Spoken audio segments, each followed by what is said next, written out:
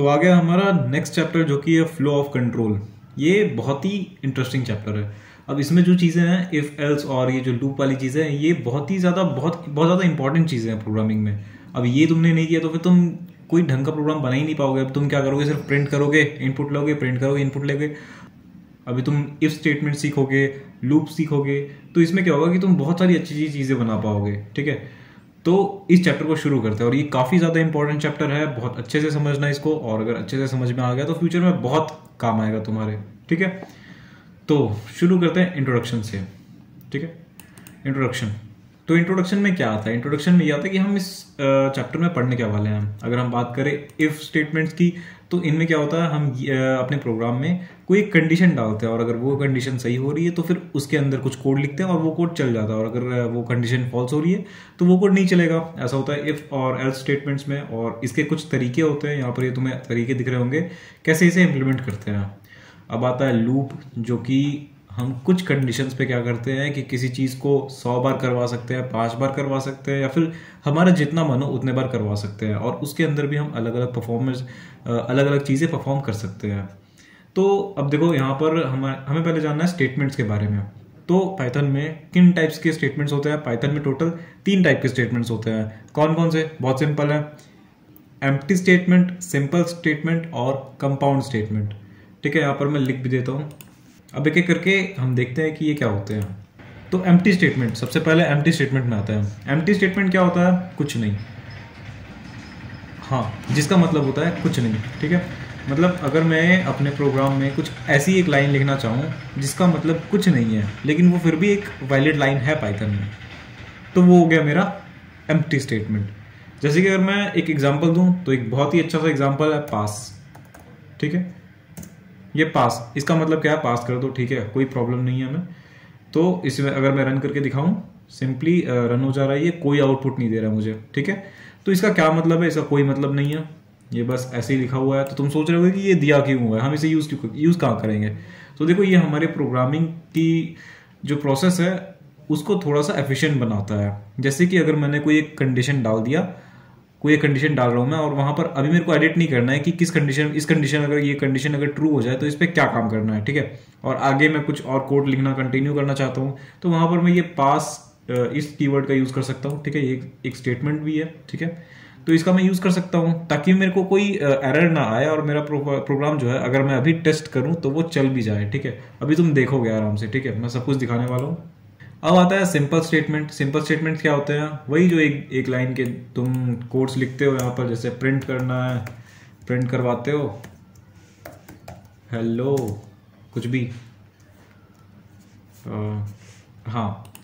तो ये चीज़ें जो है, ये ये हमारी है सिंपल स्टेटमेंट्स अब कंपाउंड स्टेटमेंट्स क्या होता है? कंपाउंड स्टेटमेंट्स हमारे वो स्टेटमेंट्स होते हैं, जिनमें हम ब्लॉक्स का यूज़ करते हैं इंडेंटेशन का यूज़ करते हैं, ठीक है? इनमें ये आ जाते हैं, हमारे इफ़ एल्स और ये जो लूप वाले जो चीज़ें हैं या फिर फ़ंक्शन बनाना हो गया, वो सारी चीज़ें जो है, वो कंपाउंड स्टेटमेंट्स में आती हैं। और क्लास भी एक होता है तो वो अभी तुम्हारे सिलेबस में नहीं है तो तुम्हारे सिलेबस में जो है, वो मैं पढ़ा रहा हूँ। लेकिन फिर भी मैं तुम्हें कुछ एक्स्ट्रा ज्ञान देते रहूँगा। तो कंपाउंड स्टेटमेंट में क्या क्या होता है? कंपाउंड स्टेटमेंट में एक हेडर होती है और उसकी एक बॉडी होती है। ठीक है? अगर मैं सिंपली तुम्हें एक एग्जांपल दिखाऊँ, अगर मैं अभी तुम्हें पढ़ा नहीं रहा हूँ, मैं बस तुम्हें दिखा रहा हूँ कि कंपाउंड स्टेटमेंट दिखता कैसा है, ठीक है? तो अभी तुम ये मत चिल्लाने लगना कि तुमने इफ़ पढ़ाया नहीं और तुम स्टार्ट कर रहे हो, ये दिखा रहे हो, ठीक है? तो मैं अगर यहाँ पर लिखता हूँ कि वन अगर बड़ा है ज़ीरो से, ठीक है? तो फिर क्या करो? प्रिंट हेलो और प्रिंट आ, क्या प्रिंट? चलो सिर्फ़ प्रिंट नहीं कराते कुछ और भी कराते हैं यहाँ पर कुछ असाइन कर देते हैं। यहाँ पर एरर क्यों आ रहा है? सॉरी यहाँ पर तो मैंने ये स्ट्रिंग में डाला ही नहीं है। क्या यार? हाँ तो यहाँ पर मैं क्या कर रहा हूँ अब मैं कुछ और लाइंस लिख देता हूँ ए में मैं थ्री कर देता हूँ बी में फोर कर देता हूँ प्रिंट करवा देता हूँ ए प्लस बी तो यहाँ पर मैं कुछ भी बेकार सा काम करवा रहा हूँ। मान लेते हैं कि इसके ऊपर कुछ लाइन के कोड्स हैं, ठीक है? या फिर लिख लेते हैं, चलो, ज़्यादा आलस नहीं करना चाहिए। तो क्या लिखे यहाँ पर? क्या लिखे भाई? क्या लिखे? क्या लिखे? चलो, यहाँ पर भी कुछ ना कुछ हम वेरिएबल में कुछ चीज़ असाइन कर ही देते हैं। जैसे कि नेम में यहाँ लास्ट में लिख दिया मैंने ठीक है? और फिर क्या? आ, ये लिखने के बाद मान लेते इसके नीचे भी कुछ कोड है। यहाँ पर जैसे यहाँ पर मैं लिखता हूँ is equals to name plus is equals to ठीक है? तो मैं यहाँ पर यहाँ पर नीचे कुछ काम करवा रहा हूँ, ऊपर कुछ काम करवा रहा हूँ और बीच में मैंने एक कंपाउंड स्टेटमेंट डालकर रखा हुआ है, ठीक है? अब कंपाउंड स्टेटमेंट में क्या क्या चीज़ें हैं? सबसे पहले यहाँ पर तुम देख सकते हो कि ये एक हैडर हो गया और इसके नीचे हमारी ये जो चीज़ है, इतने सारे स्टेटमेंट्स ये फिर ये सिंपल स्टेटमेंट्स भी हैं, एक एक करके हम अगर बात करें तो। तो ये इसकी बॉडी हो गई, एक हैडर ठीक है? ये हेडर हो गया और ये बॉडी हो गई। और तुम यहाँ पर देख सकते हो, अब ये हम कैसे डिफाइन कर रहे हैं कि ये पूरी की पूरी इसकी बॉडी है? क्योंकि यहाँ पर ये जो चीज़ें तो तुम्हें दिख रही है, ये जो चीज़ है, इतने चार स्पेसेस हैं, ठीक है? या फिर अगर तुम अपने कीबोर्ड में सिंपली टैब प्रेस करो तो भी आ जाएगा वो चार चार स्पेसेस जो हैं। तो ये जो चीज़ें हैं, ठीक है? ये इन्हें हम कहते हैं इंडेंटेशन क्या कहते हैं? इंडेंटेशन और ये सारे लाइंस जो हैं, वो एक ही इंडेंटेशन में हैं। मतलब कि अगर मैं यहाँ पर बीच में कुछ एक और इंडेंटेशन लगा के ये कर दूँ, ठीक है? तो ये अलग चीज़ हो जाएगी, ठीक है? तो अभी मैं क्या कहना चाह रहा हूँ कि ये सारे के सारे सेम लेवल के इंडेंटेशन में ठीक है? मतलब कि ये जो पूरे लाइंस हैं, इतने सारे चार लाइंस के कोड्स हैं, वो क्या है? वो इसकी बॉडी के अंदर है, ठीक है? यानी कि ये लोग क्या कर रहे हैं? इसके लिए काम कर रहे हैं, ठीक है? समझ गए? आगे बढ़ते हैं। और यहाँ पर ये तुम्हें याद रखना है कि हम जब भी हेडर फ़ाइल लेते हैं तो उसके बाद एक कोलोन भी देते हैं। अब नेक्स्ट टॉपिक क्या है? नेक्स्ट टॉपिक है मेरे पास स्टेटमेंट फ्लो कंट्रोल अब स्टेटमेंट कैसे चलता है? ठीक है, कैसे चलता है स्टेटमेंट सबको पता है स्टेटमेंट जो है वो सीक्वेंस में चलता है। पहले ये स्टेटमेंट चेक चेक होगी, ठीक है? उसके बाद फिर इधर फिर इधर इधर इधर इधर इधर, ठीक है?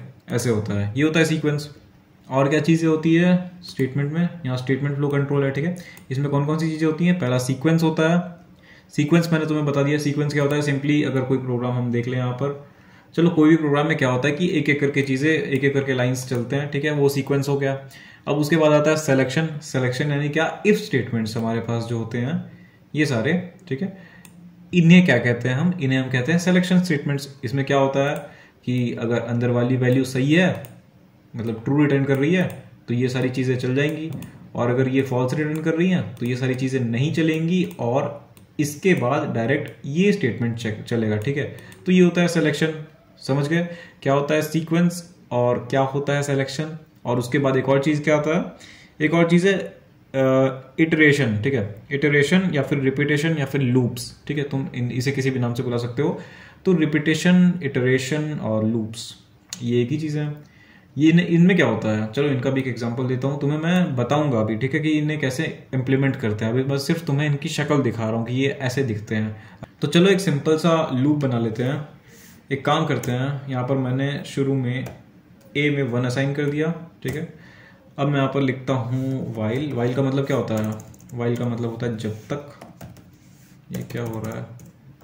हाँ वाइल ठीक है? वाइल के अंदर मैं यहाँ पर कंडीशन लिखूँगा।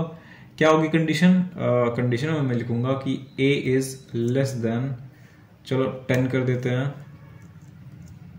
अब यहाँ पर इसकी बॉडी में मैं लिखूँगा प्रिंट ए ठीक है? अब ये क्या कर रहा है? इसका तो कोई इफ़ेक्ट पड़ नहीं रहा है क्योंकि ना ही ये कोई कुछ चीज़ हमें प्रिंट करके दे रहा है, ना ही ये चीज़ कोई इनपुट ले रहा है, ठीक है? और ना ही कोई इसका फ़र्क पड़ रहा है, ठीक है? तो जो फ़र्क पड़ रहा है हमारे कोड में, वो इसका फ़र्क पड़ रहा है। तो क्या है यहाँ पर? शुरू में ए में वन जा रहा है, फिर जब तक यहाँ पर कंडीशन में लिखा हुआ है, जब तक ए जो है वो टेन से छोटा है, तब तक प्रिंट करते जाओ ए को। ए में क्या है? वन और ये तो एक हमेशा सही हो जाएगी ना? ये वैल्यू तो हमेशा सही होने वाली है तो हम यहाँ पर एक ही वैल्यू चेंज तो नहीं कर रहे हैं कहीं। यानी कि एक ही वैल्यू जो वो हमेशा वन रहने वाली है और वन तो हमेशा टेन से छोटा होता है। तो ये क्या हो जाएगा? ये एक इन्फानाइट लूप बन जाएगा। यानी कि ये चलता ही जाएगा, चलता ही जाएगा, चलता ही जाएगा। मतलब एक ही वैल्यू प्रिंट होती जाएगी होती जाएगी होती जाएगी।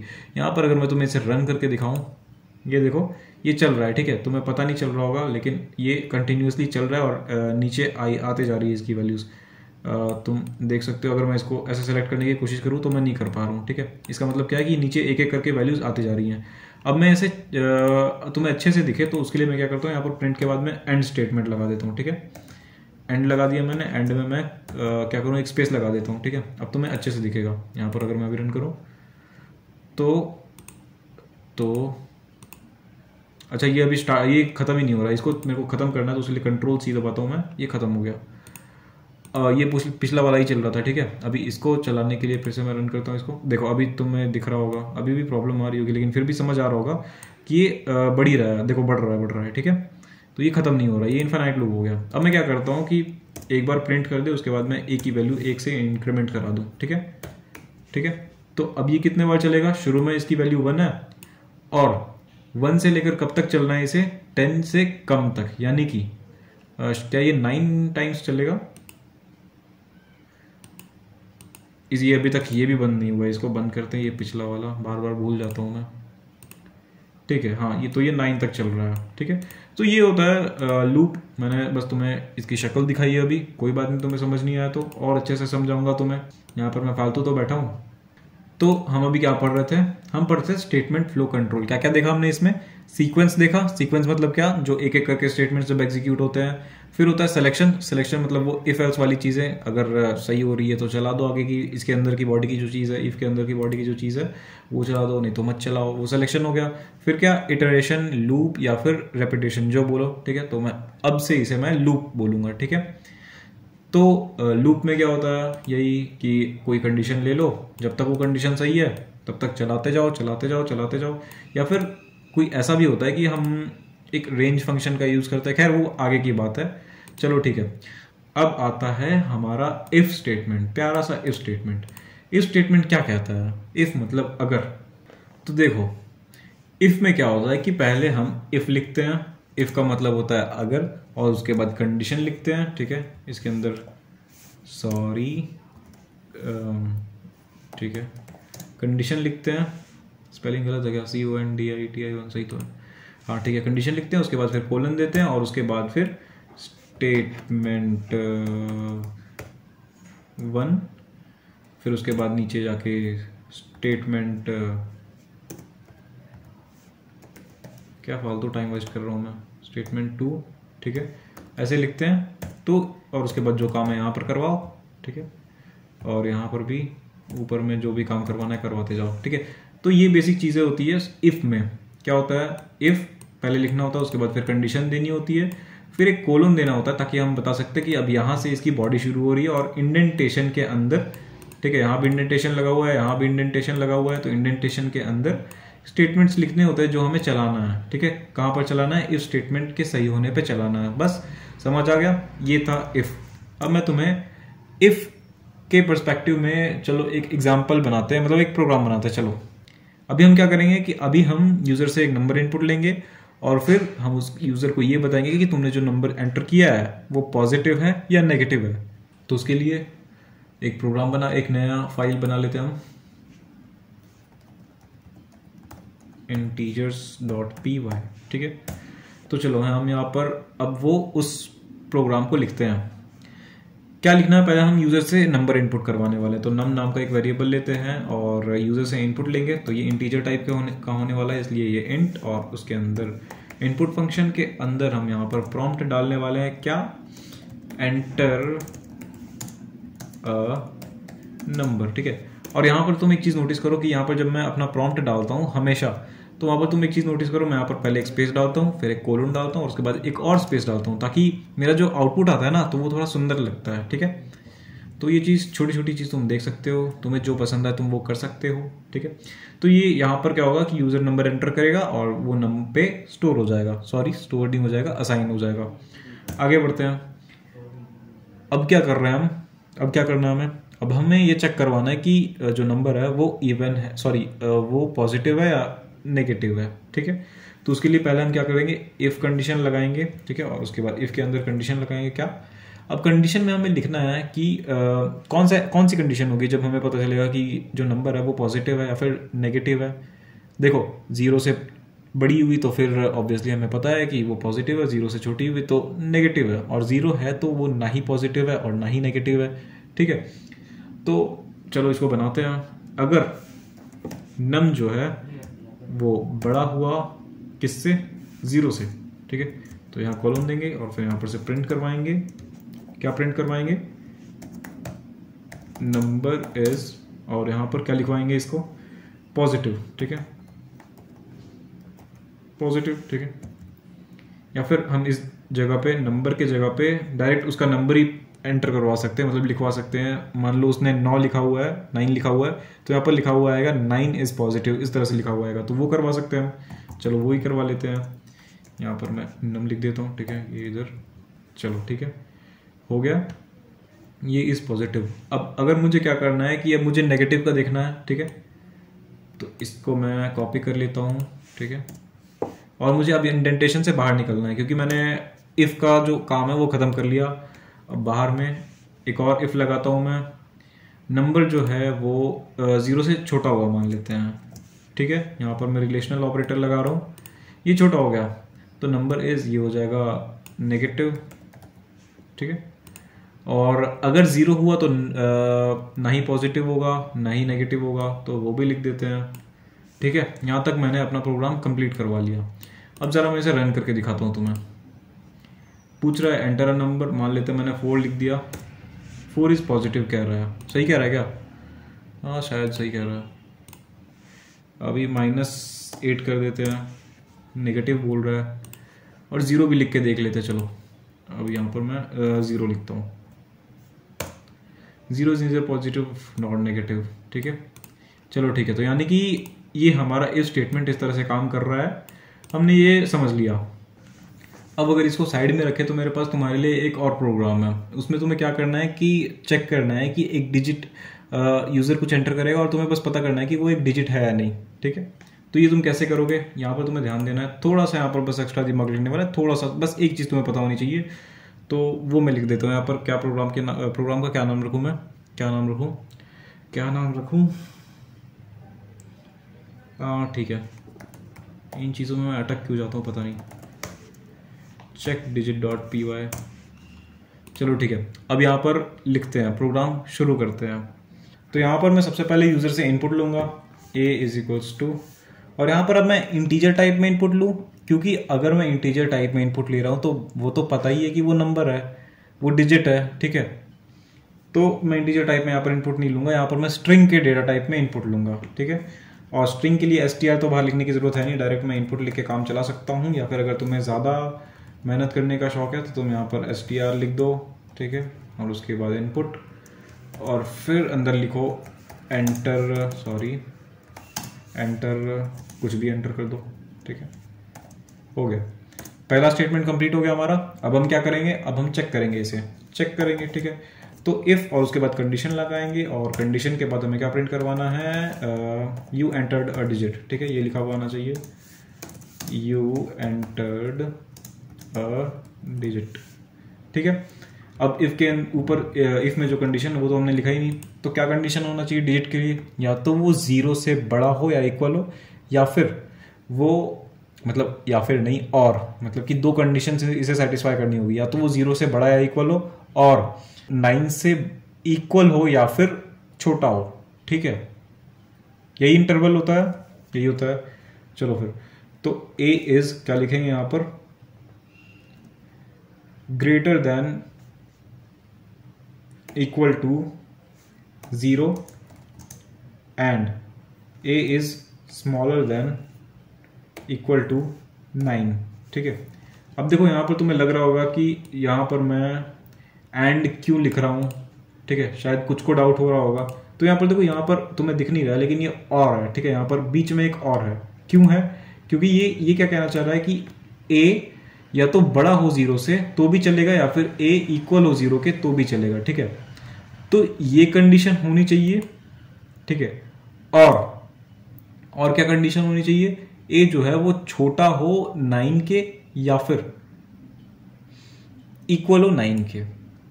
तो यहाँ पर मैं इसे रन करके दिखाता हूँ तुम्हें। यहाँ पर मैं एंटर करता हूँ सिक्स तो ये क्या आ रहा है?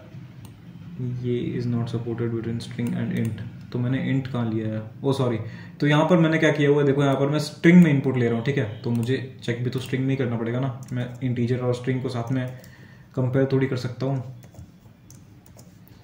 ठीक है? यहाँ पर मैं लिख लेता हूँ सिक्स ठीक है? तो यू एंटर द डिजिट अब यहाँ पर मैं इसके जगह पे ए लिख देता हूँ। ए लिखने पे क्या आएगा? ए लिखने पे कुछ नहीं आ रहा है। अच्छा हाँ ए लिखने पे यहाँ पर हमने कुछ डाला ही नहीं है, ठीक है? मतलब अगर ये कंडीशन सही हो तो ये चीज़ चल जाएगी। लेकिन गलत हो तो क्या? उसके लिए तो हमने कुछ डाला ही नहीं है, ठीक है ना? तो ये था इफ़ स्टेटमेंट अब आगे क्या है? अब आगे है इफ़ एल्स स्टेटमेंट ठीक है? इफ़ एल्स स्टेटमेंट और उसके बाद इफ़ एलिफ स्टेटमेंट और उसके बाद फिर नेस्टेड इफ़ ठीक है? तो जल्दी जल्दी खत्म करते हैं। इफ़ एल्स हो गया सॉरी इफ़ एल्स नहीं हुआ है तो इफ़ एल्स करते हैं अभी। ये सी में कर लेते हैं, ठीक है? तो एल्स का मतलब क्या होता है कि अगर ऊपर वाली कंडीशन सही नहीं हो तो तब क्या करना है, ठीक है? तो यहाँ पर यहाँ पर हम बनाएँगे सॉरी एल्स एल्स में एल्स लिखते हैं, ठीक है? इफ़ की जो बॉडी वो तुमने पता कर ली क्या होता है? अब एल्स लिखते हैं और एल्स में कोई कंडीशन लिखने की ज़रूरत नहीं होती है, क्योंकि एल्स का मतलब ही होता है कि अगर ऊपर वाली चीज़ सही ना हो तो आगे अब ये काम करो। एल्स क्या करो? एल्स प्रिंट कर दो। नॉट नॉट अ डिजिट ठीक है? ये लिख दिया मैंने। अब मैं यहाँ पर एफ़ लिखता हूँ नॉट अ डिजिट ये लिखा हुआ आ गया ठीक है? तो ये था एल्स का काम।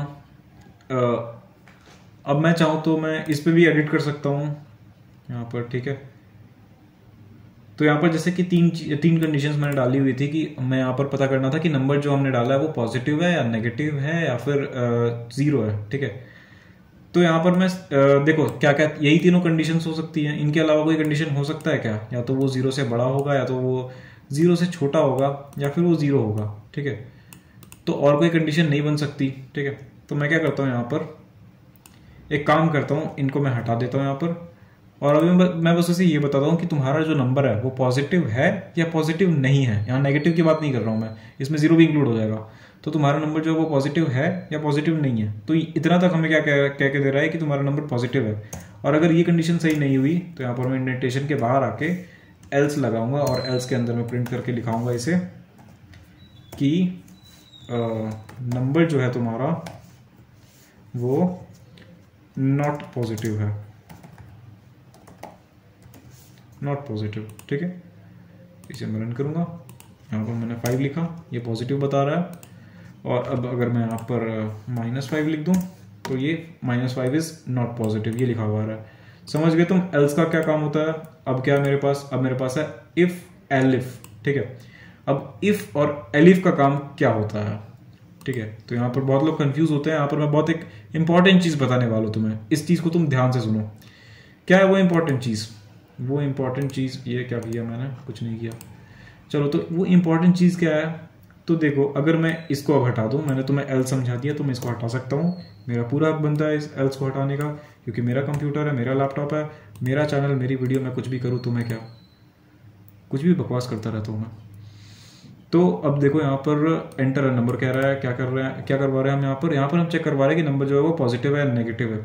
अब मैं यहाँ पर इस चीज़ को अगर हटा दूँ, ठीक है, और मैं यहाँ पर, मैंने अभी क्या लिखा हुआ था यहाँ पर? नंबर जो है अगर ज़ीरो हो तो इसके जगह पे एल्स करवा देते हैं, ठीक है? इसके जगह पे यहाँ पर मैं एल्स कर देता हूँ, क्योंकि इन दोनों के कंडीशन के अलावा और कौन सी कंडीशन बच रही है, ठीक है? नंबर या तो बड़ा होगा या तो छोटा होगा या तो ज़ीरो होगा इक्वल होगा, ठीक है? तो ज़ीरो इसके जगह पे हम यहाँ पर एल्स कर देते हैं। और इसका मतलब ही यही हुआ कि जो आखिरी कंडीशन है, ठीक है? दोनों अगर सच ना हो तो आखिरी कंडीशन कौन सी है? वो चीज़ सही हो जाए, ठीक है? तो अब यहाँ पर क्या होगा? यहाँ पर क्या होगा?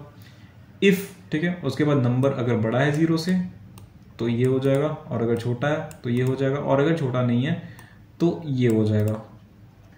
तो ज़रा मैं इसे रन करके दिखाऊँ। अब तो मैं यहाँ पर थोड़ा सा ध्यान देने की ज़रूरत है, ठीक है? यहाँ पर मैं क्या करता हूँ? सिक्स लिखता हूँ, ठीक है? तो अब देखो यहाँ पर तुम दो चीज़ें लिखी हुई आ रही है। सिक्स इज़ पॉजिटिव और six is neither positive non negative ये क्यों हो रहा भाई? ये तो नहीं होना चाहिए। तो ये इसलिए हो रहा है क्योंकि ये जो एल्स होता है ना वो अपने से पहले वाले इफ़ के लिए ही होता है सिर्फ़। ऐसा नहीं है कि ये जो एल्स है, वो इसके लिए भी है। यानी कि अगर ये कंडीशन ना चले, तब ये चल जाए, ठीक है? तो ये जो चीज़ है, वो सिर्फ़ इसके लिए है। अपने से पहले एक के लिए, ठीक है? एल्स जो है, वो अपने से पहले वाले इफ़ के लिए ही होता है, ठीक है? तो अब देखो यहाँ पर क्या हो रहा है कि ये चीज़ चल जा रही है, ठीक है? नंबर जो है, वो पॉजिटिव है। प्रिंट हो गया नंबर पॉजिटिव एंटर किया तुमने। अब नीचे जो है, वो एक चीज़ है दोनों इफ़ और एल्स ये दोनों दो जिसमें, एक जान है।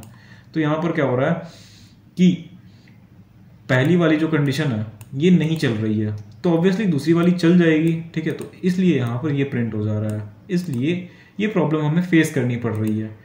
तो अब मैं यहाँ पर क्या करता हूँ, अब मैं तुम्हें क्या बताने वाला था? एलिफ के बारे में। एलिफ का मतलब होता है एल्स इफ़ मतलब कि। जैसे कि तुम कभी कभी सोचते हो कि ये नहीं तो वो सही, वो नहीं तो वो सही, वो नहीं तो वो सही और ये भी नहीं तो वो सही। मतलब कोई भी नहीं तो वो सही। ठीक है? ऐसा तुम कभी कभी सोचते हो? अब पता नहीं मुझे कि तुम किस सेंस में सोचते हो इस चीज़ को। लेकिन ठीक है। तो यहाँ पर भी मैं तुम्हें इफ़ एलिफ और एल्स का कॉन्सेप्ट बताने वाला हूँ। तो वो हम कैसे करेंगे? तो यहाँ पर मैंने जो एल्स डाला हुआ है यहाँ पर, ठीक है? तो वो मैं क्या कह रहा हूँ? वो सिर्फ़ अपने से पहले वाले इफ़ के लिए है। लेकिन क्या होगा अगर मैं चाहता हूँ कि ये जो एल्स है, वो इन दोनों के लिए काम करे, ठीक है?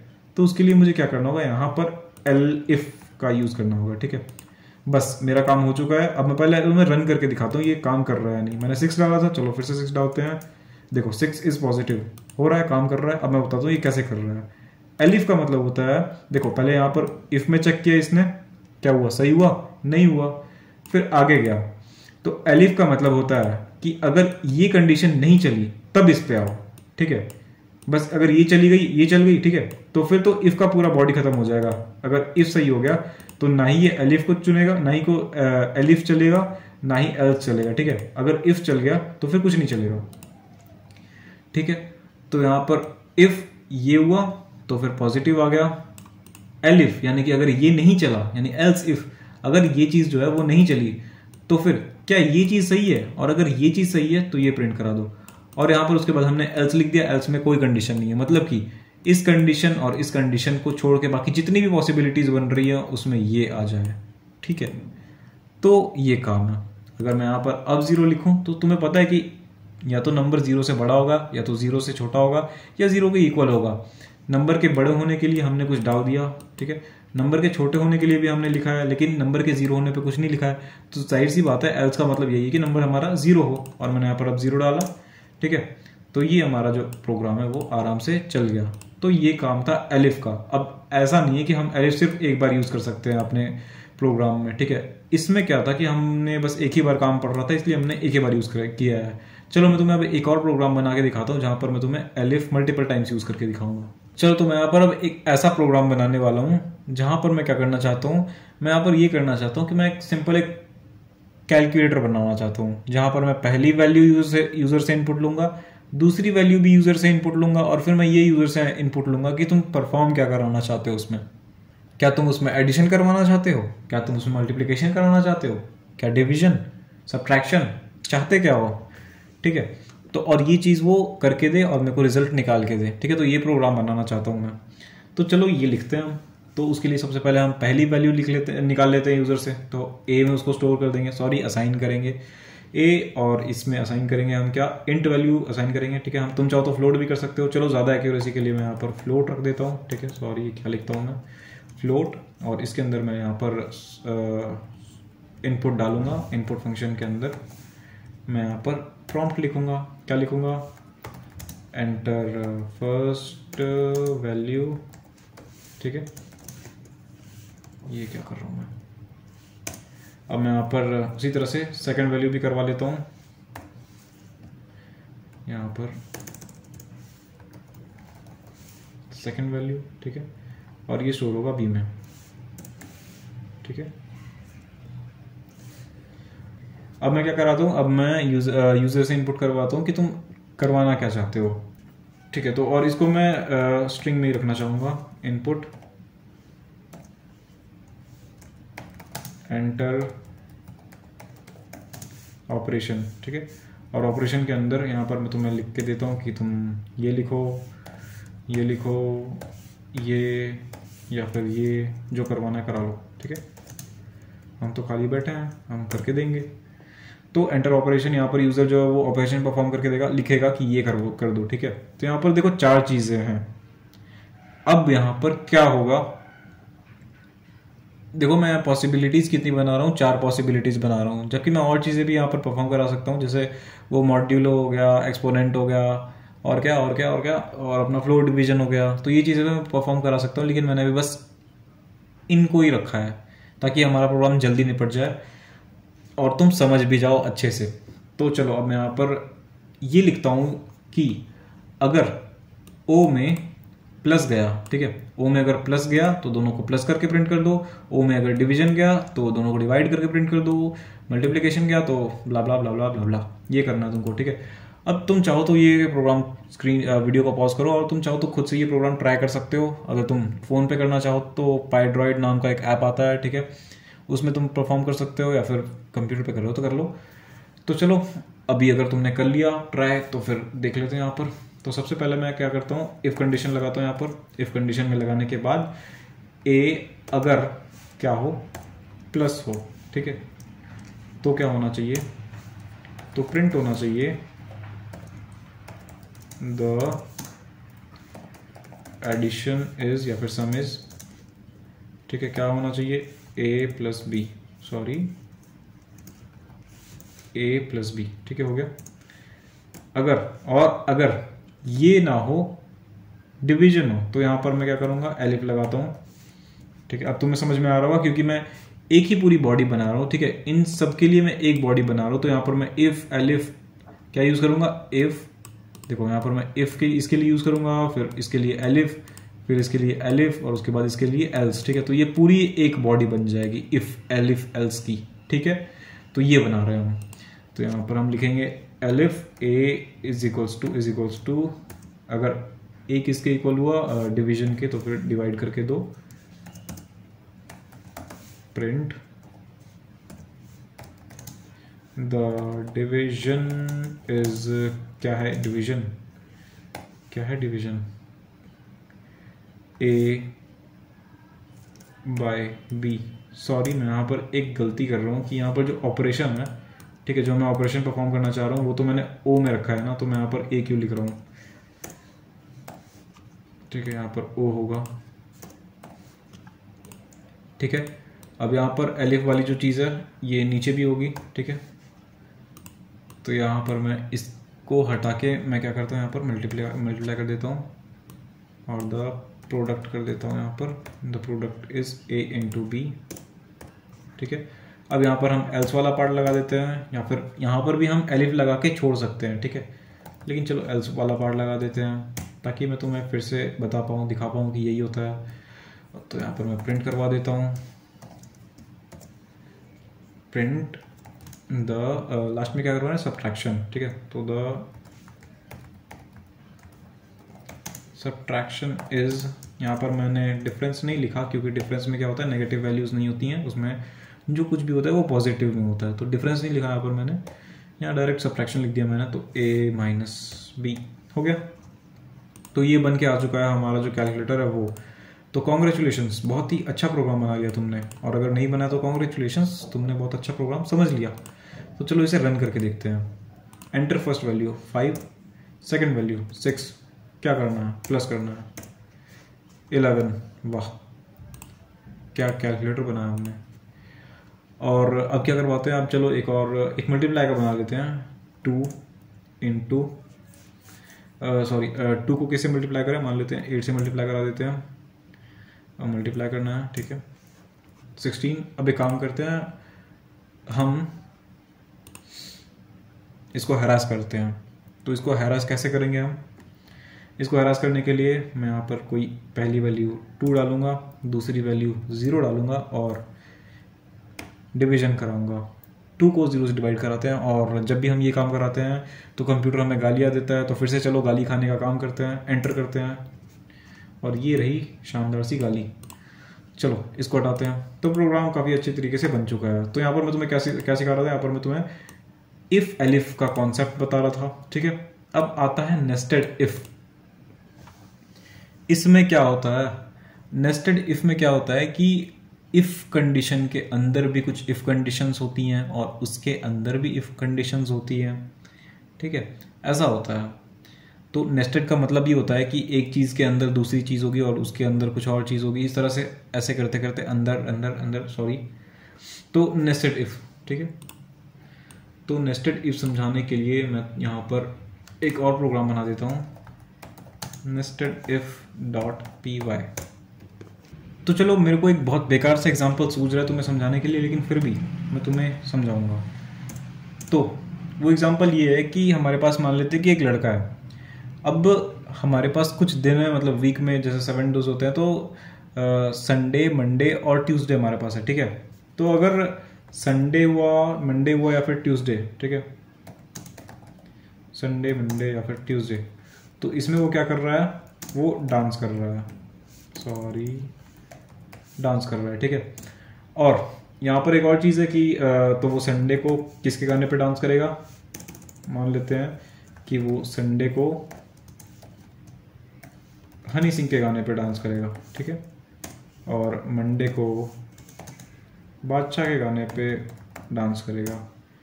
ट्यूसडे को ट्यूसडे को किसके गाने पे नचवाए इसको? रफ्तार, ठीक है?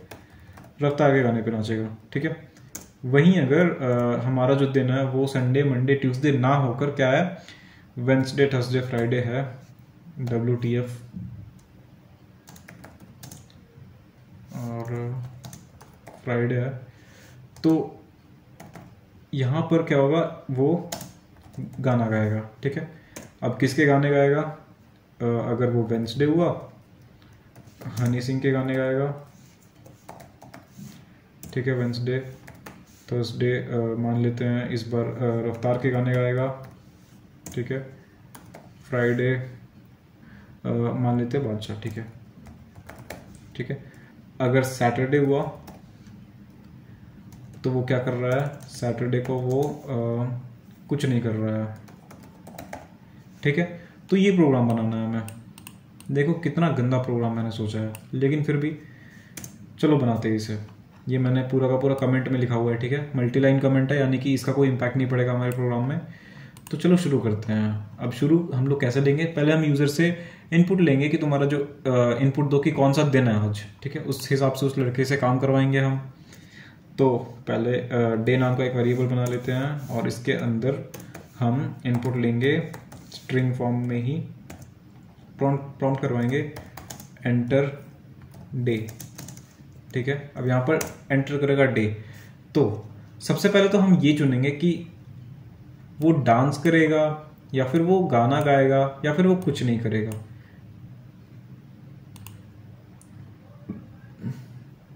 अब किसके गाने पे डांस करेगा या किसके गाने पे नाचेगा, वो तो बात की बात है ना। सबसे पहले हमें ये बताना है अपने प्रोग्राम में कि वो डांस करेगा या गाना गाएगा या फिर कुछ नहीं करेगा, ठीक है? और उसके बाद हम ये बताएँगे उसे कि अगर वो डांस करेगा तो किसके गाने पे डांस करेगा? नाचेगा तो मैं सॉरी गाना गाएगा तो फिर किसके गाने पे ये कौन किसके गाने गाएगा? ठीक है तो यहाँ पर हम इफ़ लगाते हैं। और इफ़ में सबसे पहले हम यहाँ पर लिखेंगे if day is equals to is equals to और स्ट्रिंग के फॉर्म के अंदर uh, या तो संडे या मंडे या ट्यूसडे ठीक है? सन ठीक है संडे और यहाँ पर हम मंडे या फिर देखो, अगर यहाँ पर अब तुम सोच रहे हो कि मैं इतना लंबा क्यों लिख रहा हूँ? अगर मैं एक अच्छा प्रोग्रामर हूँ तो मुझे काफ़ी छोटे लाइन में ही काफ़ी कम लिख काफ़ी कम लिख के ही मुझे अपना प्रोग्राम कंप्लीट करवा लेना चाहिए। ठीक है? तो अभी मैं तुम्हें बताऊँगा। तुमने अगर डेटा हैंडलिंग पढ़ा हो मैं यहाँ पर अभी चेक कर लेता हूँ कि डेटा हैंडलिंग इससे पहले है या इसके बाद है। तो देखो, इसके पहले का एक चैप्टर था जो कि था डेटा हैंडलिंग अब डेटा हैंडलिंग उसमें तुमने पढ़ा हो तो उसमें तुम इंट्रोडक्शन मिला होगा स्ट्रिंग्स डिक्शनरीज और लिस्ट टपल इनके बारे में डिक्शनरी इनके बारे में तुम्हें इंट्रोडक्शन मिल गया होगा, ठीक है? तो अब मैं इनका यूज़ करूँगा। इस चीज़ को छोटा करने में। कैसे करूँगा? वो तुम अभी देखोगे। संडे मंडे ट्यूसडे ठीक है? अब तो लिखने की ज़रूरत नहीं है, यहाँ पर मैं क्यों ही कंडीशन डाल रहा हूँ? संडे मंडे ट्यूसडे ठीक है? तो मैं क्या करता हूँ अब आ, मैं एक लिस्ट बना लेता हूँ और उसमें सारे डेज़ को स्टोर करता हूँ ठीक है? ये डे नाम का वेरिएबल है और अब मैं एक डेज़ नाम का वेरिएबल बना लेता हूँ और इसमें एक मैं लिस्ट बना लेता हूँ और लिस्ट के अंदर मैं सबको स्टोर कर लेता हूँ। संडे ठीक है? मंडे अब थोड़ा सा स्मार्टनेस तुम्हें दिखाना होगा अपने प्रोग्राम को छोटा करने में और सिंपल करने में। ट्यूसडे वेंसडे थर्सडे फ्राइडे और ये सैटरडे ठीक है? तो ये हो गया हमारे डेज़ और इस चीज़ को मैं हटाता हूँ अब। तो यहाँ पर मैंने डेज़ डाल दिया, ठीक है? है ना? मैंने डेज़ डाल दिए। तो एक काम करता हूँ, मैं अब इन डेज़ को मैं तोड़ देता हूँ अलग अलग चीज़ों में। जैसे कि मान लेते हैं कि इसको मैं एक डे मतलब एक सेगमेंट में मान लेता हूँ, ये अलग सेगमेंट हो जाता है हमारा और ये अलग सेगमेंट हो जाता है, ठीक है? तो मैं इस लिस्ट को थोड़ा तोड़ लेता हूँ, ठीक है? तो मैं इसे यहाँ पर ख़त्म कर देता हूँ। ख़त्म कर दिया मैंने। अब यहाँ पर डेज़ टू लिख देते हैं यहाँ पर। डेज़ वन लिख दिया मैंने यहाँ पर। और यहाँ इक्वल टू देखे ठीक है? ये हो गया। और सैटरडे हटाना है हमें यहाँ से। चलो सैटरडे हटा देते हैं। और सैटरडे हम बाद में लिख लेंगे। एक ही चीज़ है तो इसके लिए क्या ही लिस्ट बनाए हम, ठीक है? तो अब यहाँ पर डे यहाँ पर अब मैं इन का यूज़ करूँगा। इन और नॉट इन तुम्हें बताया था मैंने मेंबरशिप ऑपरेटर्स होते हैं। ये बस चेक करते हैं कि तुम्हारी जो एलएचएस वाली जो चीज़ है, वो आरएचएस में प्रेजेंट है या नहीं। तो तुम्हारा जो डे तुमने, अभी जो यूज़र ने एंटर किया, क्या वो इन इन दोनों में से किसी लिस्ट में प्रेजेंट है? If day in days one इनमें अगर प्रेजेंट है तो क्या होना चाहिए? तो लिखा हुआ आना चाहिए। क्या लिखा हुआ आना चाहिए? ही शुरू में वो क्या कर रहा है? डांस कर रहा है, ठीक है? ही डांसेस ठीक है? ही डांसेस ऑन अब आगे की बात है सिंगर ठीक है? ऑन अब यहाँ पर हमें सिंगर चुनना है, ठीक है? तो अब मैं यहाँ पर उसके लिए, यहाँ पर इस इफ़ कंडीशन के अंदर मैं फिर से एक इफ़ कंडीशन लगाऊँगा। तो अब मैं इफ़ के अंदर में कंडीशंस लगाऊँगा कि अगर दिन जो है वो संडे हुआ तो फिर कौन सा सिंगर होगा? मंडे तो फिर कौन सा सिंगर होगा? इस तरह से। तो यहाँ पर मैं लगा लगा देता हूँ मैं मैं यहाँ पर लिखता हूँ if day equal to equal to Sunday ठीक है? तो क्या होना चाहिए? प्रिंट प्रिंट करना चाहिए क्या? किसके गाने पे नाच रहा है संडे को? संडे को वो हनी सिंह के गाने पे नाच रहा है। हनी सिंह सॉन्ग ठीक है? एलिफ ठीक है? अगर ऊपर वाला ना चले तो नीचे वाला चलना चाहिए। संडे के बाद क्या? मंडे ठीक है? तो तुम्हें जब भी इस तरह से एक बॉडी बनानी हो तो तुम एलिफ का यूज़ किया करो। तो अगर मंडे हो तो मंडे को किसके गाने पे नाच रहा है? किसी को याद है क्या? छोड़ो, देखते हैं। मंडे को बादशाह के गाने पे नाच रहा है। बादशाह सॉन्ग अब यहाँ पर ये हो गया। और अगर कोई और सिंगर है, यानी कि जैसे कि संडे मंडे और फिर ट्यूसडे ट्यूसडे को वो क्या कर रहा है? रफ्तार के गाने पे नाच रहा है। अगर इसके गाने पे नहीं नाचा, इसके गाने पे नहीं नाचा तो एल्स लिख सकते हैं हम यहाँ पर, ठीक है? एल्स का मतलब ये हुआ कि डे का जो वैल्यू है, वो संडे मंडे के अलावा क्या हो? ट्यूसडे हो, ठीक है?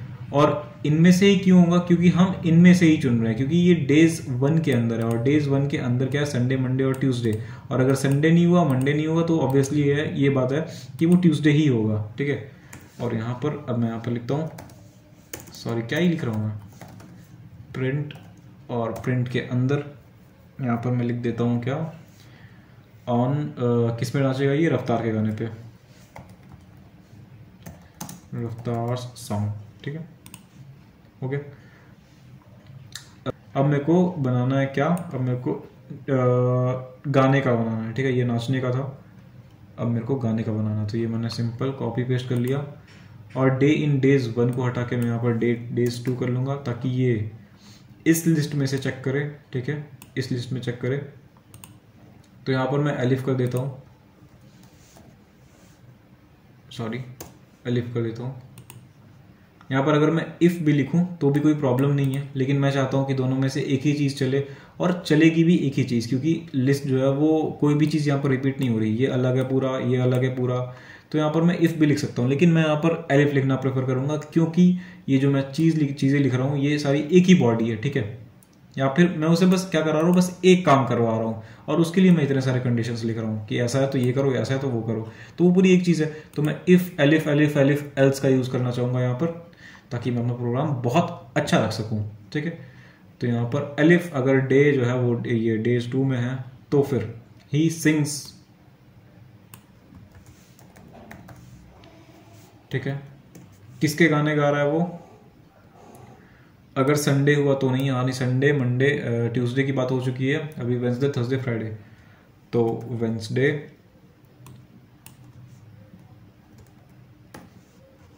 थर्सडे और फिर यहाँ पर ये फ्राइडे ही चुनेगा, क्योंकि तीन चीज़ें हैं, ठीक है? डेज़ टू के लिस्ट में, ठीक है? तो यहाँ पर क्या हो रहा है? डे ठीक है? तो वेंसडे थर्सडे और फ्राइडे हो चुका। He sings Honey Singh's song Badshah song और अवतार सॉन्ग तुम यहाँ पर नोटिस करो। यहाँ पर वो क्या कर रहा है? वो थर्सडे को रफ्तार का गाना गा रहा है। तो यहाँ पर मैं इसे चेंज कर देता हूँ। थर्सडे तो यहाँ पर मैं रफ्तार का गाना गा रहा है। और ठीक है।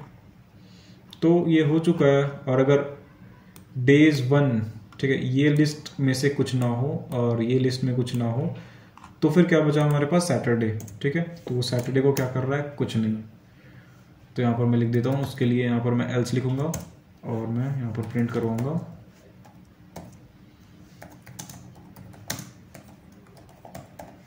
ही डज नथिंग ठीक है? हो गया काम खत्म। अब तुम यहाँ पर एक चीज़ देख रहे होगे। यहाँ पर तुम क्या देख रहे होगे? यहाँ पर तुम एक चीज़ देख रहे हो कि यहाँ पर एलिफ है, उसके अंदर भी हमने इफ़ कंडीशंस का यूज़ किया हुआ है। अब चाहे अब हमें कुछ और कंडीशन होता तो हमें शायद इसके अंदर भी इफ़ कंडीशन और लगानी पड़ती, फिर और कुछ कंडीशन होता तो उसके अंदर भी इफ़ कंडीशन और लगानी पड़ती हमें। तो इस चीज़ को ही हम कहते हैं nested if else loop nested if ठीक है? तो ये नेस्टेड इफ़ की बॉडी देखो तुम यहाँ पर इफ़ के अंदर भी ये लगा रहे हो तुम। खैर, यहाँ तो कुछ नहीं है सैटरडे को। यहाँ पर मैंने वेंसडे किया हुआ है, यहाँ पर टी कैपिटल है, ठीक है, सही है।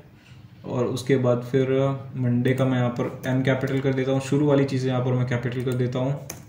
इसको संडे कर देता हूँ, ठीक है। और उसके बाद यहाँ भी इन चीज़ों को ऐसा कर देता हूँ। संडे मंडे ट्यूसडे मैं पंडित की तरह क्यों साउंड कर रहा हूँ? स्वाहा। अब यहाँ पर ज़रा चेक करते हैं तो अब मैं अच्छे से लिखूँगा, ठीक है? थोड़ी तमीज़ रख के। तो मान लेते हैं आज फ्राइडे है तो ही सिंग्स बादशाह सॉन्ग तो क्या फ्राइडे के फ्राइडे को वो क्या कर रहा है? बादशाह के गाने गा रहा है, सही है? और कुछ चेक करना है तुम्हें? तुम्हें करना है तो तुम कर सकते हो, ठीक है?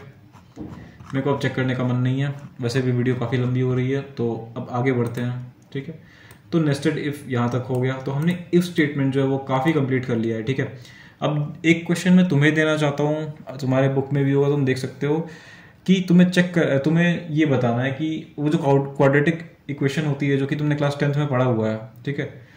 Minus B plus minus under root B square minus four A C by two है ये फार्मूला तुम लगाते हो, ठीक है?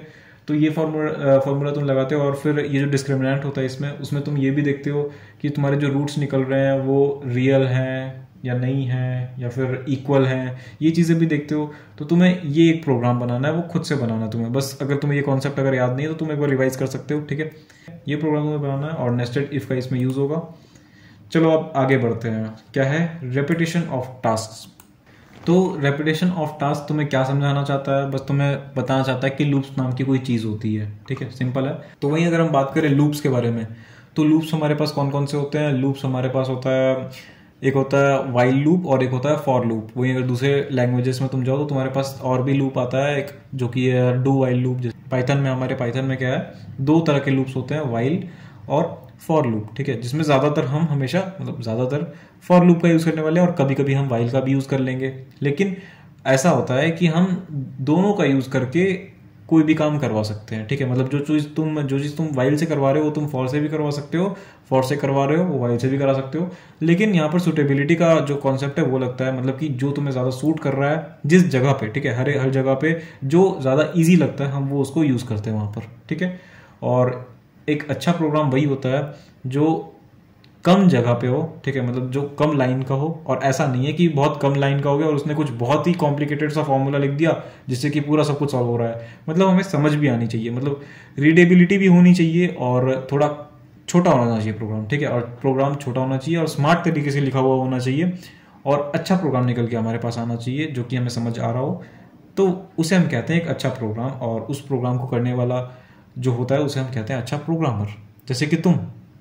तो यहाँ पर हमारे पास है रेपिटेशन ऑफ़ टास्क इसमें क्या क्या है? हमारे लूप्स हैं, ठीक है? अब लूप्स पढ़ने के पहले, देखो यहाँ पर तुम्हारे पास लूप्स में ये ये चीज़ें हैं, ठीक है? यहाँ पर भी नेस्टेड लूप्स हैं, इसमें भी तुम्हारा दिमाग खराब होने वाला है। तो उससे पहले, उसको पढ़ने से पहले यहाँ पर हमारे पास एक इंपॉर्टेंट चीज़ है जो कि ये रेंज फ़ंक्शन अब रेंज फ़ंक्शन क्या होती है? क्या होती है रेंज फ़ंक्शन तो इसे समझाने के लिए भी मैं एक प्रोग्राम बना लेता हूँ। देखो तुम्हारे लिए कितनी मेहनत कर रहा हूँ और तुम मेरी वीडियो शेयर भी नहीं करते। तो चलो हम समझते हैं रेंज फ़ंक्शन क्या होता है, ठीक है? तो सबसे पहले हम एक लिस्ट बनाते हैं, एक वेरिएबल बनाते हैं एल नाम का और इसके अंदर हम एक लिस्ट को स्टोर करेंगे, ठीक है? और लिस्ट के अंदर हम, यहाँ पर हम यूज़ करने वाले हैं रेंज फ़ंक्शन को। ठीक है? अब रेंज फ़ंक्शन को हम यहाँ पर यूज़ करने वाले हैं। अब ये कुछ आर्ग्यूमेंट्स लेता है। या तो तुम इसमें एक आर्ग्यूमेंट डाल सकते हो, दो आर्ग्यूमेंट भी डाल सकते हो, तीन आर्ग्यूमेंट भी डाल सकते हो। सबका अपना अलग अलग काम होता है। ठीक है? तो यहाँ पर मैं इसे प्रिंट करवाना चाहूँगा एल को। ठीक है? अभी तो रेंज में मैंने कुछ डाला नहीं है। तो देखते क्या प्रिंट होगा। कुछ नहीं। ठीक है? तो अब हम यहाँ पर क्या करते हैं? रेंज के अंदर कुछ वैल्यूज़ डालते हैं। मैंने क्या बोला था? एक वैल्यू भी डाल सकते हो, दो वैल्यू भी डाल सकते हो, तीन भी डाल सकते हो। ठीक है? लेकिन एक तो एटलीस्ट डालना ही है, नहीं तो एरर आ जाएगा, जैसे कि अभी आ रहा था। तो अगर मैं एक वैल्यू डालूँ, जैसे कि मैं यहाँ पर लिख देता हूँ पाँच तो पाँच लिखने पर क्या आ रहा है? क्या आ रहा है? देखो, कुछ नंबर्स ही जनरेट करके दे रहा है तो रेंज क्या करता है? वो कुछ नंबर्स हमें जनरेट करके देता है। जैसे कि मैंने यहाँ पर पाँच लिखा तो वो क्या कर रहा है? वो ज़ीरो से लेकर फोर तक, यानी कि टोटल पाँच वैल्यूज़ जनरेट करके दे रहा है मुझे। सही कह रहा हूँ मैं? ठीक है? तो अब यहाँ पर जब हमने ये फाइव डाला हुआ है, ठीक है? तो इसका मतलब क्या हुआ है कि यहाँ पर ज़ीरो ऑलरेडी लगा हुआ है, ठीक है? तो जब यहाँ पर सिर्फ़ फाइव लिखते हैं हम, यहाँ पर कोई भी वैल्यू बस एक वैल्यू अगर डालते हैं तो उसका मतलब ये होता है कि ज़ीरो यहाँ पर ऑलरेडी लिखा हुआ है, ठीक है? तो इस तरह से दो वैल्यू हमारी बन जाती है। यानी कि इधर हम छोटी वाली वैल्यू लिखते हैं मतलब कहाँ से वैल्यू चाहिए हमें और कहाँ तक चाहिए, वो उसके बाद लिखते हैं, ठीक है? जैसे कि अगर मेरे को, मैं चाहता हूँ कि दो से लेकर दस तक की मुझे वैल्यू चाहिए तो मैं यहाँ पर दो लिखूँगा और यहाँ पर मैं लिखूँगा ग्यारह, ठीक है? क्योंकि अगर मैं तुम्हें लिख के दिखाता हूँ, चलो पहले मैं यहाँ पर लिख देता हूँ। यहाँ पर मैं लिखता हूँ दस तक की वैल्यू चाहिए मुझे तो मैं यहाँ पर दस लिखूँगा, ठीक है? तो अगर मैं यहाँ पर इसे रन करूँ तो ये मुझे कहाँ तक दे रहा है? यहाँ पर ये मुझे नाइन तक दे रहा है, ठीक है? वहीं अगर मैं यहाँ पर ग्यारह लिखूँ, यानी कि एक नहीं चलता है, ठीक है? यानी कि अगर मैं यहाँ पर ग्यारह लिखूँ तो ये मुझे दस तक दे रहा है, ठीक है? तो ये जो है, ये इसकी स्टॉप वैल्यू है। यानी कि यहाँ पर जैसे ही वो आएगा, वो रुक जाएगा, वो काम नहीं करेगा, ठीक है? यानी कि पहली वाली चीज़ चलेगी दूसरी चीज़ चलेगी मतलब और मतलब ये जो यहाँ से होगा, ठीक है, यहाँ से स्टार्ट होगा और फिर ये आने पे ख़त्म हो जाएगा। समझ गए तुम?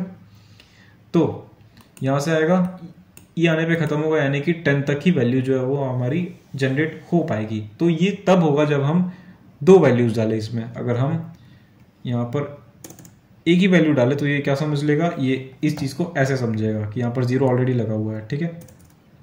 और मैंने क्या कहा था? तुम तीन वैल्यू भी डाल सकते हो उसमें। अब तीन वैल्यू डालेंगे तो वो क्या होगा? तीन वैल्यू मान लेते थ्री ठीक है? तो तीन वैल्यू क्या होता है कि इस चीज़ को लेकर एडिशन होता जाता है। किससे एडिशन होता है? थ्री से, ठीक है? तो मान लेते हैं पहले ये टू को जनरेट करेगा, और फिर टू में फिर थ्री प्लस करो। क्या हो गया? फाइव ठीक है? फिर फाइव को जनरेट करेगा, फिर फाइव में तुम थ्री ऐड करो तो क्या हो गया? एट हो गया। एट में थ्री और डालो तो इलेवन हो गया। लेकिन इलेवन क्या ये ले रहा है? नहीं नहीं ले रहा है। तो कौन कौन सी वैल्यूज़ बनी? पहले टू फिर फाइव फिर एट तीन वैल्यूज़ बन गई हमारे पास, ठीक है? इस तरह से मैं इसे रन करके दिखाता हूँ तो ये देखो, ये इस तरह से रेंज फ़ंक्शन काम करता है। तो ये काम था रेंज फ़ंक्शन का, और अब हम आगे बढ़ते हैं। एक और बात, यहाँ पर तुम जो तीसरा तीसरा आर्ग्यूमेंट जो डाल रहे हो, इसे हम कहते हैं स्टेप वैल्यू ठीक है? और हाँ अगर तुम्हें नंबर्स जो है, वो नेगेटिव में जनरेट करना हो मतलब कि अगर यहाँ पर तुमने टू से इलेवन तक तो देख लिया लेकिन अगर तुम चाहते हो कि तुम इलेवन से टू तक जनरेट करो, ठीक है? इलेवन से टू तक मतलब इलेवन आना चाहिए, फिर टेन आना चाहिए, फिर nine, eight, seven, six, four, five, three, two, ऐसा आना चाहिए। तो तुम यहाँ पर क्या करोगे? ये लिखोगे इस तरह से, इतना तो तुम्हें पता है कि तुम ऐसे लिखोगे। और यहाँ पर जो स्टेप वैल्यू है, वहाँ पर ये तुम्हें इसके जगह पे माइनस वन लिखना होगा, ठीक है? तब ये उल्टा काउंटिंग होगा, और ये टू तक तो जाएगा नहीं, ठीक है? क्योंकि ये जो सेकंड वैल्यू है, यहाँ तक नहीं जाता, वो इससे पहले तक रहता है। यानी कि ये थ्री तक जाएगा। तो यहाँ पर अगर मैं इसे अभी रन करूँ तुम देख सकते हो यहाँ पर। इतनी वैल्यूज़ इसने जनरेट करके दे दी मुझे। यहाँ तक थ्री तक है, ठीक है? तो यानी कि मुझे, मैं क्या बता रहा हूँ यहाँ पर? अगर तुम्हें उल्टा जाना है तो फिर तुम्हें यहाँ पर स्टेप वैल्यू माइनस वन डालना होगा। तो ये एक इंपॉर्टेंट चीज़ थी यहाँ पर। और ये चीज़ तुम्हें स्लाइसिंग में भी काम आएगी। अब स्लाइसिंग क्या होता है? वो तुम स्ट्रिंग्स वगैरह में पढ़ोगे, ठीक है? आगे बढ़ते हैं हम। तो इसको हटाते हैं अभी, फ़िलहाल। इसको भी हटाते हैं। एक ही बार में क्यों नहीं हटाया? पता नहीं। और अभी थोड़ी देर पहले मैंने तुम्हें इन और नॉट इन के बारे में बताया था जो कि मेंबरशिप ऑपरेटर्स होते हैं और इसे मैंने पहले भी बताया था लेकिन एक बार मैं फिर से तुम्हें ये बताना चाहता हूँ क्योंकि ये थोड़ा इंपॉर्टेंट कॉन्सेप्ट है ठीक है? तो आ, हम एक लिस्ट बना लेते हैं एल और उसमें हम कुछ नंबर्स स्टोर कर देते हैं। कौन कौन से? मान लेते हैं फिफ्टी ये जो भी है कुछ भी नंबर्स स्टोर कर देते हैं ठीक है? तो यहाँ पर हम एक कंडीशन लगाएँगे। If condition if L sorry L नहीं three in L print yes अब देखो तुम कोई भी प्रोग्राम खुद से भी सोच कर बनाया करो, क्योंकि वैसे ही तुम्हारा लॉजिक बढ़ने वाला है। मेरा कहने का मतलब ये है कि तुम खुद से भी, जैसे कि मैंने अभी क्या किया था, ये बेकार सा मैंने ये ये नहीं, कौन सा? हाँ तो कोई भी एक था उसमें मैंने क्या किया था कि एक बेकार सा आ, मैंने हाँ ये वाला। तो इसमें मैंने क्या किया था मैंने खुद से कोई एक क्वेश्चन सोच लिया और इसका प्रोग्राम मैंने बनाना शुरू कर दिया। तो तुम्हारा जो प्रोग्रामिंग में जो लॉजिक है वो ऐसे ही बनेगा। तुम्हें क्या करना है कि खुद से कुछ ना कुछ क्रिएटिव सोचना है कुछ भी क्वेश्चन सोचो और तुम उस पर बनाना शुरू कर दो। वैसे तुम्हारा क्या होगा कि तुम्हारी क्रिएटिविटी काफ़ी बढ़ जाएगी और तुम्हारा ये जो लॉजिकल रीजनिंग है वो काफ़ी बढ़ जाएगा। ठीक है? मेरा मेरे साथ तो ऐसा ही था। मैं जब क्लास इलेवेंथ और ट्वेल्थ में था मैं ये चीज़ करता था कि मैं बुक्स के क्वेश्चन तो रहने दो, वो तो मैं बाद में करूँ। पहले मैं खुद से क्वेश्चन बनाता था और उसके बाद में उसको सॉल्व करता था। ठीक है? जो जो मुझे लगता था कि मैं ये कॉन्सेप्ट सीखने के बाद इन चीज़ों को बना सकता हूँ तो वो मैं खुद से क्वेश्चन बनाता था और सॉल्व करता था। तो ये चीज़ तुम ट्राई करो और काफ़ी अच्छा रिज़ल्ट आएगा। ठीक है? तो कौन से फ़ाइल में काम कर रहा था मैं? इस पर काम कर रहा था। ठीक है? तो यहाँ पर मैं प्रिंट कराना चाहता हूँ अभी। नो ठीक है? ये ये क्या कर रहा है? ये मेरे को बस चेक करके दे रहा है कि क्या थ्री नंबर जो है वो इस लिस्ट में प्रेजेंट है? और अगर प्रेजेंट है तो ये प्रिंट होगा, और अगर नहीं प्रेजेंट है तो नो प्रिंट होगा। और ये सिर्फ़ हम लिस्ट के लिए यूज़ नहीं कर सकते, ये हम टपल्स के लिए भी यूज़ कर सकते हैं, और स्ट्रिंग्स के लिए भी यूज़ कर सकते हैं। ठीक है? तो वो तुम्हें एक्सपेरिमेंट करना है, खुद से भी ट्राई करो। थोड़ा दिमाग खुद का भी चलाना है तुम्हें। ठीक है? तो और इन क्या करता है? मुझे ऐसे ये कंडीशन चेक करके देगा, ठीक है? तो ये मेरे को नो करके दे रहा है, यानी कि नो नहीं है नहीं है इसमें, ठीक है? और अगर यहीं पर मैं नॉट इन लगा दूँ तो बस उल्टा अगर नहीं होगा तो यस प्रिंट होगा। नहीं अभी ठीक है। तो ये था इन और नॉट इन का कॉन्सेप्ट ये थोड़ा मुझे बताना ज़रूरी लगा तो ये मैंने बता दिया ताकि अभी इसका काम है और आगे। तो क्योंकि हमने यहाँ पर रेंज फ़ंक्शन पढ़ लिया ठीक है। अब हम आते हैं लूपिंग स्टेटमेंट्स के अंदर ठीक है। तो लूपिंग स्टेटमेंट्स जो होते हैं वो हमारे पास दो लूप स्टेटमेंट्स होते हैं मैंने तुम्हें ऑलरेडी बताया ठीक है। अब बाकी जो होते हैं वो लूप एल्स वो इनका ही पार्ट है ठीक है। तो आ, दो ही होते हैं। कौन कौन से? फॉर और वाइल ठीक है, दो तरह के लूप होते हैं हमारे पास।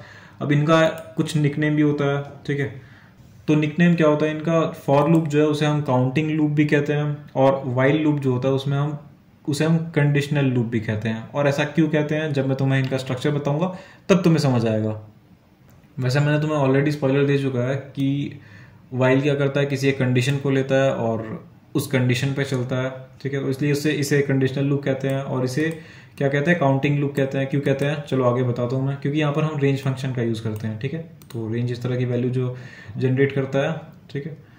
तो हटाते हैं इसे। इसे भी हटाते हैं। इसे हटा ठीक है, चलो। सब कुछ हटा देते हैं। ये भी हटा दिया मैंने, ये भी हटा दिया, ये भी हटा दिया, ये भी हटा दिया, ठीक है? अब एक नया प्रोग्राम यहाँ पर बनाते हैं। किस क्या समझना है हमें? लूप्स का पढ़ना है, ठीक है? तो लूप्स तो सबसे पहले हम क्या करते हैं? वाइल लूप को पढ़ते हैं। वाइल डॉट पी वाई ठीक है? तो हम सबसे पहले यहाँ पर क्या करते हैं? फॉर लूप को पढ़ते हैं। For loop dot P Y ठीक है? अब यहाँ पर हम फॉर लूप को समझने वाले हैं। तो फॉर लूप में क्या होता है? हम सबसे पहले फॉर लिखते हैं और उसके बाद कुछ चीज़ें लिखते हैं। अब क्या लिखते हैं यहाँ पर? अगर मुझे मैं कभी, हो सकता है मैं रेंज फ़ंक्शन का यूज़ करूँ, ठीक है? तो अगर मैं यहाँ पर रेंज फ़ंक्शन का, मैं चाहता हूँ, मैं ऐसा प्रोग्राम अभी बनाना चाहता हूँ जो मुझे वन से लेकर हंड्रेड तक नंबर्स प्रिंट करके दे। ठीक है? सिंपल है। तो उसके लिए मैं क्या लिखूँगा? फॉर आई इन रेंज कोई बात नहीं, अगर तुम्हें अभी समझ नहीं आ रहा, मैं अभी समझाऊँगा तुम्हें। यहाँ ज़ीरो से लेकर सॉरी वन से लेकर हंड्रेड तक चाहिए तो मैं यहाँ पर वन से शुरू करूँगा और वन हंड्रेड वन लिखूँगा, क्योंकि वन हंड्रेड वन को तो वो काउंट करने वाला है नहीं। प्रिंट आई पहले मैं तुम्हें दिखा देता हूँ कि हमारा प्रोग्राम जो है वो सही से काम कर रहा है या नहीं। देखो। देखो। वन से लेकर हंड्रेड तक प्रिंट हो चुका है। बस दो लाइन के कोड में मैंने वन से लेकर हंड्रेड तक का जितने भी नंबर्स थे वो मैंने प्रिंट करा लिया। अब यहाँ पर मैं तुम्हें ये समझाना चाहता हूँ कि ये काम कैसा कर रहा है। कैसे कर रहा है ये काम? ठीक है? तो आई हम यहाँ पर आई मैंने एक वेरिएबल लिया है। ठीक है? आई के जगह तुम यहाँ पर कुछ भी ले लो। तुम आ, अपना नाम ले लो। तुम एक बहुत अच्छा नाम भी ले सकते हो और उसके लिए तुम्हें यहाँ पर भी बहुत अच्छा नाम डालना पड़ेगा, ठीक है? ठीक है? हो गया? सब कुछ चल रहा है? तो हम यहाँ पर ये काम कैसे कर रहा है, ठीक है? तो रेंज क्या कर रहा है? रेंज सबसे पहले उन नंबर्स को जनरेट कर रहा है, ठीक है? क्या क्या जनरेट कर रहा है? ये एक, मान लेते हैं कि एक लिस्ट जनरेट कर रहा है। मान के चलते हैं कि अभी एक लिस्ट जनरेट कर रहा है वन से लेकर हंड्रेड तक। तो यहाँ पर हमारे पास एक वेरिएबल है। चलो मैं यहाँ पर इस चीज़ को हटा ही देता हूँ। चलो तो मैंने यहाँ पर एक वेरिएबल ले लिया आई ठीक है? अभी हम शुरू से मान के चलते कि प्रोग्राम काम कैसे कर रहा है। तो रेंज के जगह पे तुम ये समझ लो, एक इसके पास एक सीक्वेंस है वन से लेकर हंड्रेड तक का। तो आई के पास पहले वन जाएगा, ठीक है? उसके बाद फिर अंदर की जो वैल्यू अंदर जो कुछ भी लिखा होगा फॉर के अंदर, ठीक है? वो चल जाएगा। मान लेते एक और स्टेटमेंट लिखा है, मान लेते इसके अंदर एक और स्टेटमेंट लिखा है, फिर मान लेते कुछ और लिखा हुआ है, ठीक है? तो अब ये फॉर ये जो है, ये पूरी ये हेडर लाइन है, ठीक है? और उसके बाद जो है वो पूरी एक बॉडी है इसकी। किसकी? फॉर की। तो अब यहाँ पर आई लिखा हुआ है। तो मतलब आई के पास पहले क्या जा रहा है? वन जा रहा है, ठीक है? उसके बाद अब जो बॉडी है वो चलेगी, ठीक है? तो प्रिंट कर रहा है आई को, यानी वन प्रिंट हो जाएगा, उसके बाद नीचे वाली जो भी लाइन होगी, वो चल जाएगी, फिर वो चल जाएगी, फिर वो चल जाएगी, फिर वापस आई पे आएगा, ठीक है? वापस अब हेडर पे आ जाएगा तो अब आई के पास क्या जाएगा? वन के बाद टू जाएगा। फिर प्रिंट करेगा टू को, फिर ये चलेगा ये चलेगा ये चलेगा, फिर आई के पास क्या जाएगा? थ्री जाएगा। प्रिंट करेगा आई को, यानी कि आई के पास थ्री है ना अभी तो थ्री प्रिंट होगा, उसके बाद ये ये ये, ठीक है? फिर फोर जाएगा आई के पास इधर से फोर उठ के आई के पास जाएगा तो आई के पास फोर है, इसलिए फोर प्रिंट होगा, उसके बाद ऐसे ऐसे ऐसे जाएगा। तो ऐसे करते करते ये हंड्रेड तक जाएगा, ठीक है? तो इस तरह से हमारा जो लूप है, वो काम करता है। और फॉर का मैंने इस तरह से तुम्हें एक वर्किंग दिखाया है, ठीक है? मैं और तरीके से तुम्हें वर्किंग दिखा सकता हूँ, और यहाँ पर देखो, मुझे अगर सिर्फ़ और नंबर्स प्रिंट करवाना है तो मैं यहाँ पर क्या कर सकता हूँ? यहाँ पर मैं टू लिख सकता हूँ। तो यहाँ पर क्या होगा कि एक स्टेप वैल्यू यानी कि टू ऐड होता जाएगा वन के बाद वन प्लस टू यानी थ्री तो देखो यहाँ पर मैंने सिर्फ़ ऑड वैल्यूज़ प्रिंट कराया। ठीक है? तो इस तरह से मैं करवा सकता हूँ फॉर का काम, और यहाँ पर मैं रेंज का भी मैंने करवा दिया। ठीक है? रेंज फ़ंक्शन का भी मैंने यहाँ पर यूज़ कर लिया। और क्या कर सकते हैं हम यहाँ पर? और हमें, हम क्या कर सकते हैं यहाँ पर? किसी सीक्वेंस में भी जा सकते हैं। जैसे कि अगर मैं कोई एक लिस्ट बना दूँ एल इक्वल्स टू यहाँ पर अगर मैं लिस्ट में क्या स्टोर करूँ? क्या स्टोर करूँ? मैं यहाँ पर डेज़ का नाम ही स्टोर कर देता हूँ, चलो। मंडे ट्यूसडे वेंसडे ठीक है, मान लेते बस इतना ही है। ठीक है? तो अब अगर मैं रेंज फ़ंक्शन को हटा दूँ, देखो मैं दूसरा यूज़ बता रहा हूँ तुम्हें फॉर का, ठीक है? एक तो तुम समझ गए कि रेंज फ़ंक्शन का यूज़ कैसे हो रहा है, और दूसरा मैं यहाँ पर कुछ और यूज़ कर रहा हूँ। देखो रेंज भी हमें एक सीक्वेंस जनरेट करके दे रहा था और एल जो है लिस्ट वो ऑलरेडी एक सीक्वेंस है, ठीक है? तो फॉर आई इन एल और उसके बाद फिर प्रिंट प्रिंट क्या कर रहा है? आई को, ठीक है? ये कैसे चलेगा? ये देखो मंडे ट्यूसडे वेंसडे यानी कि आई जो है, वो एल में घुसता जा रहा है, ठीक है? मतलब एल की पहली वैल्यू आई में जाएगी तो पहली वैल्यू कौन सी है? मंडे ठीक है? तो यहाँ पर आई में पहले मंडे गया तो मंडे प्रिंट हो गया, फिर वापस जब इधर जाएगा लूप जो है हमारा वापस आएगा तो इस वक्त क्या है आई के पास आई के पास जाएगा, दूसरी जो वैल्यू है ट्यूसडे वो ट्यूसडे आ जाएगा प्रिंट होगा, उसी तरह से सिमिलरली वेंसडे भी प्रिंट हो जाएगा। तो ये था एक दूसरा तरीका फॉर यूज़ करने का। कौन कौन से तरीके तुम्हारे पास, देखो दोनों में तुम्हारे पास एक सीक्वेंस है, कौन कौन सा सीक्वेंस है? एक रेंज का सीक्वेंस है, ठीक है? रेंज के अंदर तुम कुछ वैल्यूज़ डाल रहे हो, ठीक है? रेंज फ़ंक्शन के अंदर। और वहीं तुम यहाँ पर कोई एक सीक्वेंशियल डेटा टाइप यूज़ कर पा रहे हो, ठीक है? और अगर मान लेते हैं कि ये ये ना हो के कोई एक टपल होता तो भी चल जाता। अब मान लेते यहाँ पर ये ऐसा नहीं है। ये क्या है? ये मेरा नाम है, ठीक है? तो क्या ये मेरे नाम के एक एक लेटर को प्रिंट करके देगा? देखते हैं। तो यहाँ पर मैंने कुछ लिखा नहीं है फॉर आई इन एल ठीक है? हाँ तो तुम देख सकते हो मेरे नाम के एक एक लेटर को ये प्रिंट करके दे रहा है, ठीक है? यानी कि ये सीक्वेंस में काम करता है, ठीक है? तो फॉर लूप को इसलिए हम क्या कहते हैं? काउंटिंग लूप कहते हैं, क्योंकि एक सीक्वेंस में काम करता है, और अब आता है हमारे पास क्या? वाइल लूप देखा एक ख्वाब तो ये। चलो, ठीक है, अब हम वाइल लूप का यूज़ करते हैं। तो इसको हम हटाते हैं। चलो, एक नया प्रोग्राम बनाते हैं वाइल लूप के लिए।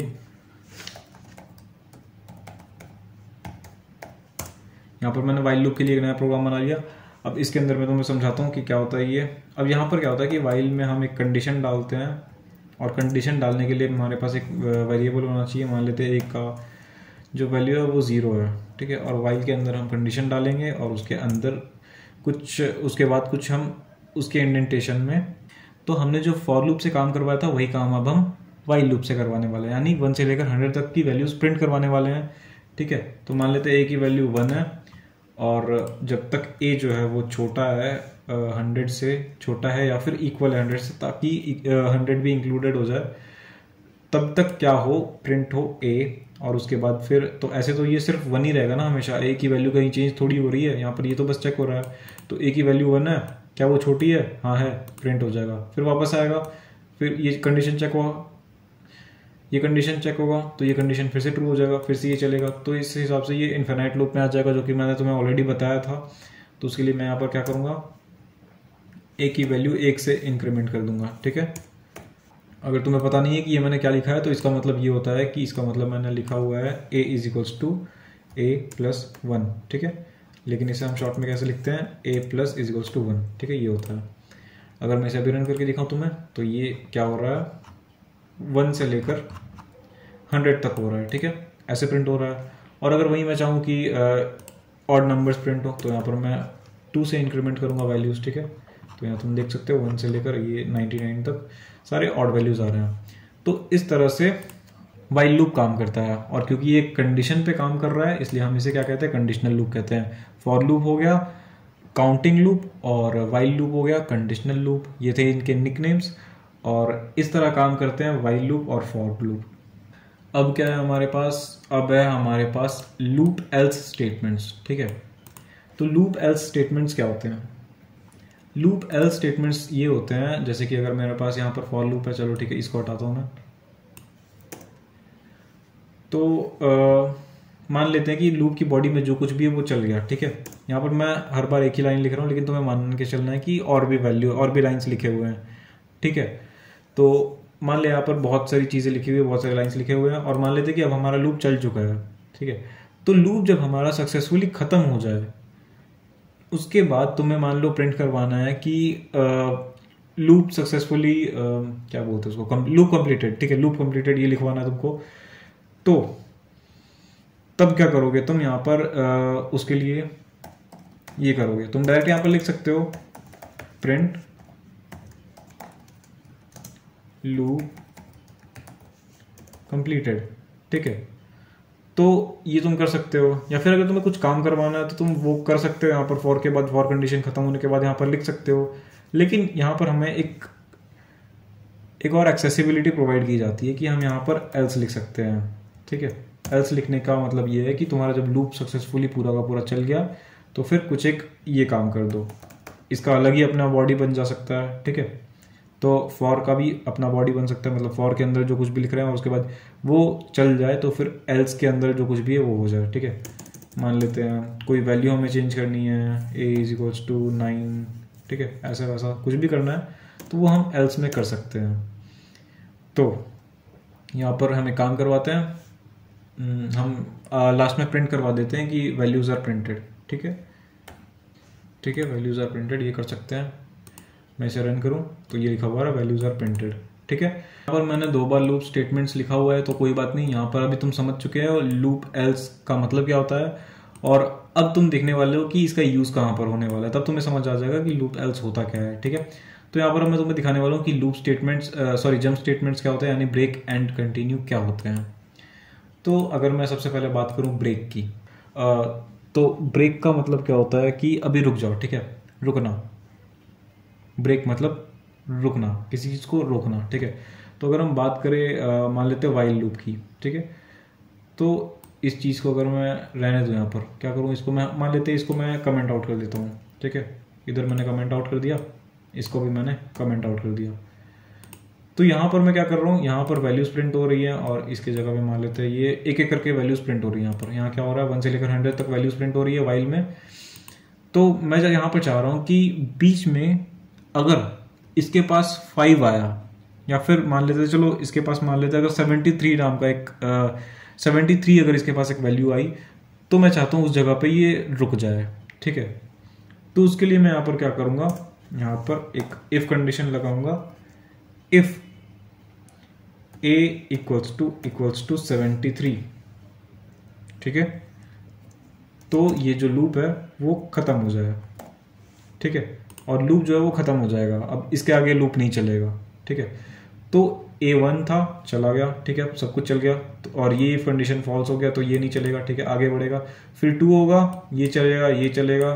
फिर ये तो सही नहीं होगा, आगे बढ़ेगा। ऐसे करते करते ए एक टाइम पे यहाँ से बढ़ेगा और 73 हो जाएगा। और 73 होने पे क्या होगा? मतलब seventy two two seventy two पे ये प्रिंट होगा और फिर यहाँ पर से बढ़ के वो 73 हो जाएगा। और 73 जैसे ही होगा तो ये लूप बंद हो जाएगा। यानी कि आगे की वैल्यूज़ नहीं चलेंगी। ठीक है?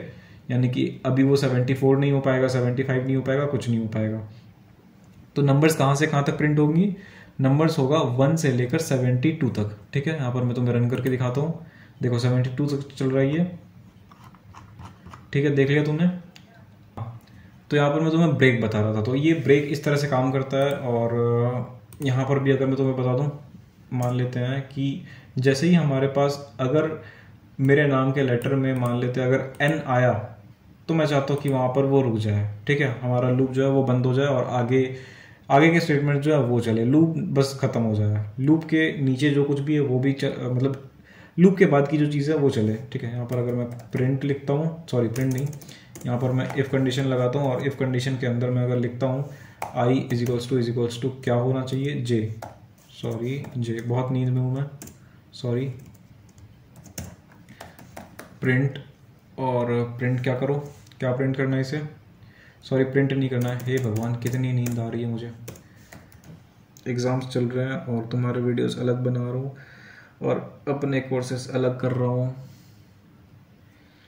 खैर, अभी तो टाइम है. अभी नहीं करेंगे तो कब करेंगे? अभी मैं दिखाता हूँ तुम्हें ये क्या क्या हो रहा है. आर ए जे, ठीक है? तो यहाँ पर जैसे ही इसके पास जे आ रहा है, उसके बाद ये रुक जा रहा है और मतलब जे इसके पहले ही प्रिंट हो रहा है, ठीक है? यहाँ पर उसके बाद जैसे ही इसको जे मिल रहा है, ठीक है? तो अब ये रुक जा रहा है। अब उसके बाद ये आगे नहीं जा पा रहा है ताकि इसके आई के पास एन से वैल्यूज़ आ पाए, ठीक है? एक बार देख लो तुम इसे ध्यान से, तुम्हें समझ आ जाएगा। तो ये इस तरह से काम कर रहा है और इसके बाद अगर मैं कुछ वैल्यूज़ लिखूं, मान लेते हैं प्रिंट करा देते हैं हाय ठीक है? तो क्या ये चलेगा? क्या ये चलना चाहिए? इसको मैं इसमें भी प्रिंट कॉपी कर लेता हूँ। ठीक है? तो क्या ये चलना चाहिए? नहीं नहीं नहीं चल रहा ये। देखो लास्ट में नहीं हो रहा ना क्योंकि देखो आ, जैसे यहाँ पर वैल्यू थ्री आ रही है सेवेंटी थ्री इसको मिल रही है ठीक है? उसके बाद ये ब्रेक हो जा रहा है और उसके बाद की जो चीज़ें हैं प्रिंट हाई देखो 73 इसको मिला, ठीक है? तो 73 के बाद की जो चीज़ है 73 मिलने के बाद, यहाँ पर इसको 73 मिल जा रहा है। और इसके बाद जो है वो ब्रेक हो जा रहा है तो ये नहीं चल रहा है, ठीक है? तो 72 तक तो ये मस्त हाई प्रिंट कर रहा था, ठीक है? लेकिन जैसे इसको 73 मिला होगा तो उसके बाद इसने हाई प्रिंट नहीं किया। क्योंकि ये जो चीज़ है, वो वाइल के अंदर ही है, ये लूप के अंदर ही है, ठीक है? और लूप जो है वो हमारा ब्रेक हो चुका है यहाँ पर, ठीक है? ये कंडीशन ट्रू हो गई है। और लूप हमारा ब्रेक हो चुका है। तो बस यहाँ पे आने के बाद ही, अब नीचे क्या लिखा है, फ़र्क नहीं पड़ता, और उसके बाद की ए की वैल्यूज़ क्या होने वाली है, वो फ़र्क नहीं पड़ता। लूप खत्म हो चुका है, लूप मर चुका है हमारा, ठीक है? तो अब कोई फ़र्क नहीं पड़ता, ठीक है? तो ब्रेक का काम ये होता है, जहाँ पर है, वहीं से ख़त्म कर देगा। और मान लेते हैं प्रिंट नीचे हेलो भी कर देते हैं। ठीक है? और अब यहाँ पर आते हैं, इधर भी हेलो कर देते हैं। मैं यहाँ पर इतनी सारी चीज़ें इसलिए प्रिंट कराना, कराता हूँ बार बार ताकि मेरे पास कोई दिमाग में स्टेटमेंट है नहीं कि अब मैं ये स्टेटमेंट डाल दूँ, वो स्टेटमेंट डाल दूँ। अब कुछ काम करवाने के लिए है नहीं तो मैं करवाऊँ क्या? तो बस ऐसी बेकार सी चीज़ें मैं प्रिंट करवाता रहता हूँ, ठीक है? तो ये हो गया। अब देखते हैं यहाँ पर क्या हो रहा है।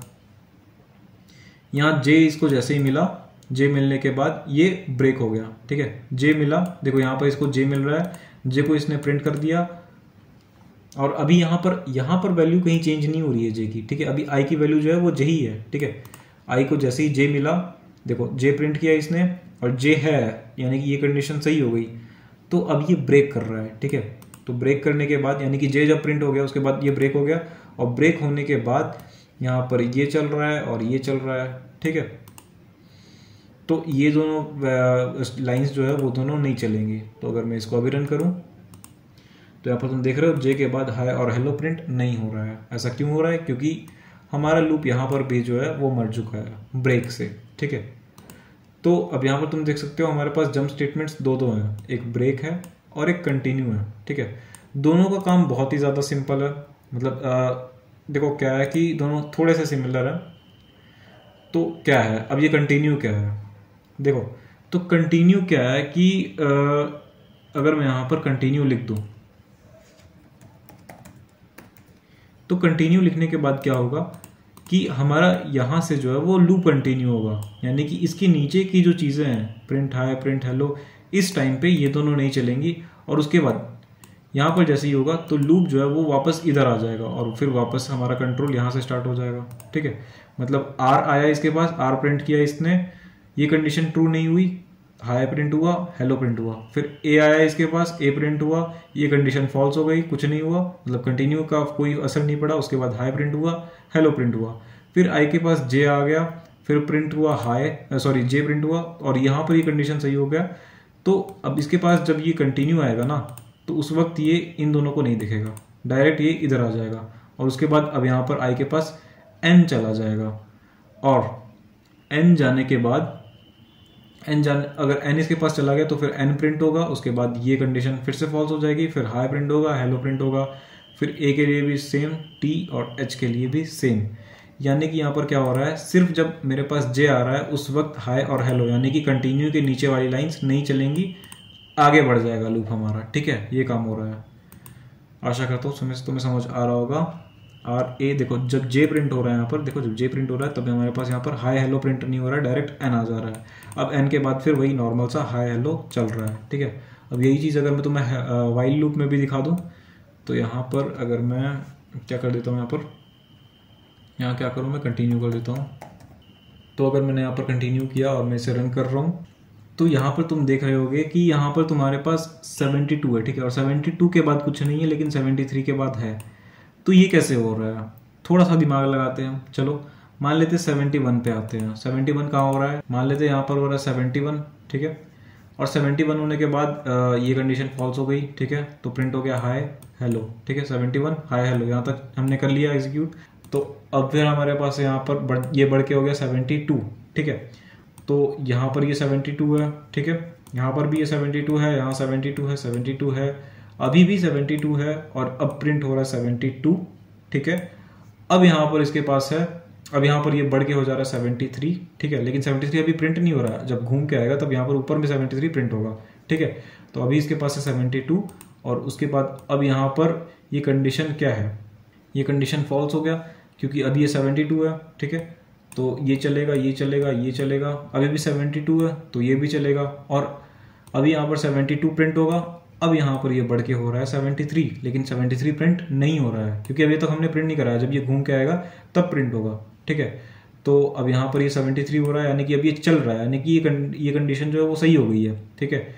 तो अब ये जो कंटिन्यू है, ये चल जाएगा हमारा, और इसके बाद जो नीचे वाली चीज़ें हैं, वो नहीं चलेंगी, और उसके बाद ये घूम के ऊपर आएगा, और फिर 73 अभी हमारे पास तो 73 तो ये कंडीशन सही हो गया तो लूप अभी चलेगा, और प्रिंट होगा 73 और 73 प्रिंट होने के बाद फिर ये 74 हो जाएगा और 74 होने के बाद ये कंडीशन फॉल्स हो जाएगी तो कंटिन्यू पे नहीं आएगा, उसके बाद हाई और हेलो प्रिंट हो जाएगा। मतलब 73 लिखा हुआ आएगा और उसके बाद फिर हाई हेलो इस तरह से प्रिंट हो जाएगा। ठीक है? बस थोड़ा सा दिमाग लगाना है तुम्हें और ये थोड़ा सा कॉम्प्लिकेटेड मैंने इसलिए रखा ताकि तुम्हारा दिमाग थोड़ा एक्स्ट्रा लगे ढंग की चीज़ों में। तो यहाँ पर मैंने अभी तुम्हें बता दिया कि कंटिन्यू क्या होता है और ब्रेक क्या होता है? ब्रेक जहाँ पर लिखा हुआ होता है, वहीं पर लूप जो होता है हमारा खत्म हो जाता है, मर जाता है। वहीं कंटिन्यू क्या होता है कि कंटिन्यू के नीचे वाली चीज़ें नहीं चलती, उसके बाद उससे, उसके बाद से फिर हमारा लूप जो है वो आगे से कंटिन्यू होता है, ठीक है? ये सिंपल सा काम होता है। फिर एक बार फिर से बोलता हूँ ब्रेक का क्या काम होता है? ब्रेक जहाँ पर भी लग जाता है, जैसे अगर इफ़ कंडीशन सही हो के ब्रेक हमारा ब्रेक चल जाता है, ठीक है? तो उसी वक्त हमारा पूरा का पूरा लूप खत्म हो जाता है, मर जाता है। कोई काम नहीं रहता अब लूप का। वहीं अगर कंटिन्यू है हमारे पास तो कंटिन्यू क्या होता है कि जैसे ही कंटिन्यू पे हमारा जो इंटरप्रेटर है वो आता है तो वो क्या करता है, वो नीचे की चीज़ जो कि लूप के अंदर है, उनको नहीं चलने देता और क्या करता है कि आगे से लूप चलाता है, ठीक है? मतलब नीचे वाली जितनी चीज़ उनको नेग्लेक्ट कर दो और लूप को आगे बढ़ाओ, ठीक है? ये करता है कंटिन्यू तो ये था लूप और ये था कंटिन्यू सॉरी ये था ब्रेक और ये था कंटिन्यू अब हमारे पास क्या है? ये तो पढ़ लिया। अब लूप एल्स देखो, अभी थोड़ी देर पहले मैंने तुम्हें एल्स के बारे में बताया था कि जब हमारा लूप जो है वो सक्सेसफुली एग्जीक्यूट हो जाए, तब जो है वो एल्स वाला जो काम है वो करता है, ठीक है? लेकिन क्या हो अगर मैं यहाँ पर बीच में कहीं ब्रेक डाल दूँ, ठीक है? यहाँ पर भी कहीं पर ब्रेक डाल दूँ, तब तुम जानते हो कि हमारा जो लूप है वो ब्रेक हो जाएगा। सक्सेसफुली एग्जीक्यूट पूरी तरह से नहीं हो पाएगा। तो यहाँ पर क्या होगा कि एल्स वाला जो पार्ट है वो नहीं चलेगा। एल्स वाले को मैं यहाँ पर कमेंट हटा देता हूँ। इधर से भी हटा देता हूँ। ठीक है? अगर मैं इसे अभी रन करूँ तो ये जो एल्स वाला पार्ट है वैल्यूज़ आर प्रिंटेड वो नहीं आ रहा है। क्यों? क्योंकि ये बीच में ही ब्रेक हो गया हमारा प्रोग्राम ठीक है? यहाँ पर भी ये बीच में ही ब्रेक हो गया। तो यहाँ पर भी नहीं लिखा हुआ आ रहा वैल्यूज़ आर प्रिंटेड ठीक है? तो क्योंकि ये बीच में ही प्रिंट हो गया तो एल्स वाला पार्ट नहीं चल रहा है। तो एल्स जो है, वो भी लूप का ही एक पार्ट है। इस जगह पे एल्स जो है, वो वाइल का ही एक पार्ट है। इसलिए क्योंकि लूप खत्म हो रहा है तो एल्स भी खत्म हो जा रहा है, यानी नहीं चल रहा है। सिमिलरली यहाँ पर भी एल्स जो है, वो फॉर का ही एक पार्ट है। तो क्योंकि लूप खत्म हो रहा है तो एल्स जो कि है, वो फॉर का ही पार्ट है तो एल्स भी खत्म हो जा रहा है, इसलिए ये नहीं चल रहा है। ठीक है? तो ये काम था लूप एल्स स्टेटमेंट्स का। अब हमारे पास आते हैं नेस्टेड लूप्स ठीक है नेस्टेड लूप्स मतलब तुम समझ गए होगे कि लूप के अंदर भी एक लूप होता है, ठीक है? मैं एक और बात बता दूँ यहाँ पर कि तुम जब तक खुद से ट्राई नहीं करोगे अच्छे अच्छे प्रोग्राम्स खुद से नहीं बनाओगे, तुम्हारे पास बुक में जो भी एक्सरसाइजेस हैं, वो प्रोग्राम्स तुम बनाया करो और जितनी जल्दी हो सके उतनी जल्दी बनाया करो। वैसे मतलब ऐसे कोई जल्दी है नहीं, लेकिन फिर भी अच्छी खासी स्पीड से बनाया करो और ऐसे ही तुम बना पाओगे और एग्ज़ाम में तुम्हें मज़ा आएगा, ठीक है? और तुम स्टैंड आउट कर पाओगे बाकियों से, क्योंकि वैसे भी कंप्यूटर साइंस बहुत कम लोग पढ़ते हैं। तो देखो, अब हमारे पास है नेस्टेड लूप्स ठीक है? तो नेस्टेड लूप समझाने के लिए मैं तुम्हारे पास, तुमको एक प्रोग्राम बनाकर दिखाता हूँ। और ये ऐसा एक प्रोग्राम प्रोग्राम है जहाँ पर हम फाइंड करके तुम्हें दिखाएँगे कि प्राइम नंबर कोई नंबर यूज़र से इनपुट लेंगे, ठीक है? और फिर हम यूज़र को बताएँगे कि वो नंबर प्राइम है या कंपोजिट है। या मतलब या फिर प्राइम और कंपोजिट दोनों नहीं है, ठीक है? तो ये चीज़ हम करने वाले अपने प्रोग्राम में, ठीक है? तो ऑलरेडी मैंने एक प्रोग्राम बनाकर रखा हुआ है। प्राइम नंबर के लिए मेरे को मिले तो अगर मैं हाँ ये रहा। ठीक है। तो मेरे को वापस ये फिर से बनाने की ज़रूरत नहीं है, लेकिन तुम चाहो तो चलो ठीक है, मैं काम करता हूँ, तुम्हारे लिए फिर से बनाकर दिखाता हूँ शुरू से। ये हटाओ ये हटाओ, ठीक है। प्राइम कंपोजिट, ठीक है, डॉट पी वाई। चलो अब मैं तुम्हारे लिए एक प्रोग्राम बनाता हूँ, जहाँ पर यूज़र से हम इनपुट लेंगे और फिर उसको बताएँगे कि जो नंबर है हमारा, वो प्राइम है या कंपोजिट है, ठीक है? और यहाँ पर हम नेस्टेड लूप का कॉन्सेप्ट यूज़ करने वाले हैं। खैर नेस्टेड लूप का बहुत ज़्यादा कॉन्सेप्ट कहाँ यूज़ होता है? जब हमें पैटर्न्स बनाने होते हैं स्टार पैटर्न्स या फिर नंबर के पैटर्न्स या फिर अल्फ़ाबेटिकल पैटर्न्स इस तरह के, या फिर कोई शेप बनाना हो गया, ठीक है? तो वहाँ पर हम फॉर लूप का नेस्टेड फॉर लूप का बहुत ज़्यादा यूज़ करते हैं। अब मैं तुम्हें प्राइम नंबर के बाद उसका ही नंबर है, ठीक है? अब मैं तुम्हें पैटर्न बनाना सिखाऊँगा। पहले प्राइम नंबर सीख लो, ठीक है? तो ये काफ़ी अच्छा प्रोग्राम है। तो पहले हम यूज़र से नंबर इनपुट लेंगे। नम इंटीजर टाइप करेगा, ठीक है? और इसके अंदर इनपुट उसके बाद फिर एंटर नंबर ठीक है? यहाँ पर नंबर रहेगा। और यूज़र जब नंबर को एंटर करेगा तो यूज़र के नंबर के एंटर करने के बाद अब हमें क्या करना है? देखो प्राइम नंबर हम कैसे चेक करते हैं? देखो प्राइम नंबर के दो फैक्टर्स होते हैं कौन कौन से? एक तो वन और एक वो खुद। और कोई फैक्टर नहीं होता। जैसे अगर मैं सेवन की बात करूँ तो सेवन जो है वो वन के टेबल में आता है और खुद के सेवन के टेबल में आता है, ठीक है? और किसी के टेबल में नहीं आता। तो वैसे ही टू का भी वैसा ही है। तो टू जो है वो हमारा स्मॉलेस्ट प्राइम नंबर होता है। और अगर थ्री की बात करूँ तो थ्री भी एक प्राइम नंबर है। फोर की अगर बात करूँ तो फोर जो है वो वन के टेबल में भी आता है फोर के टेबल में भी आता है और साथ साथ टू के टेबल में भी आता है। इसलिए फोर जो है वो एक कंपोजिट नंबर बन गया। तो इसे हम नहीं देखने वाले और ज़ीरो क्या है? ज़ीरो जो है वो प्राइम भी नहीं है कंपोजिट भी नहीं है। ठीक है? तो ऐसा है। तो हम चेक करने वाले कोई नंबर प्राइम है कंपोजिट है या फिर ज़ीरो है। ठीक है? और अगर वन हो तो वन वन क्या है? वन भी ना ही प्राइम है और ना ही कंपोजिट है, ठीक है? ये ये भी मैं बता दूँ तुम्हें। ज़ीरो और वन दोनों ही ना ही प्राइम है और ना ही कंपोजिट है।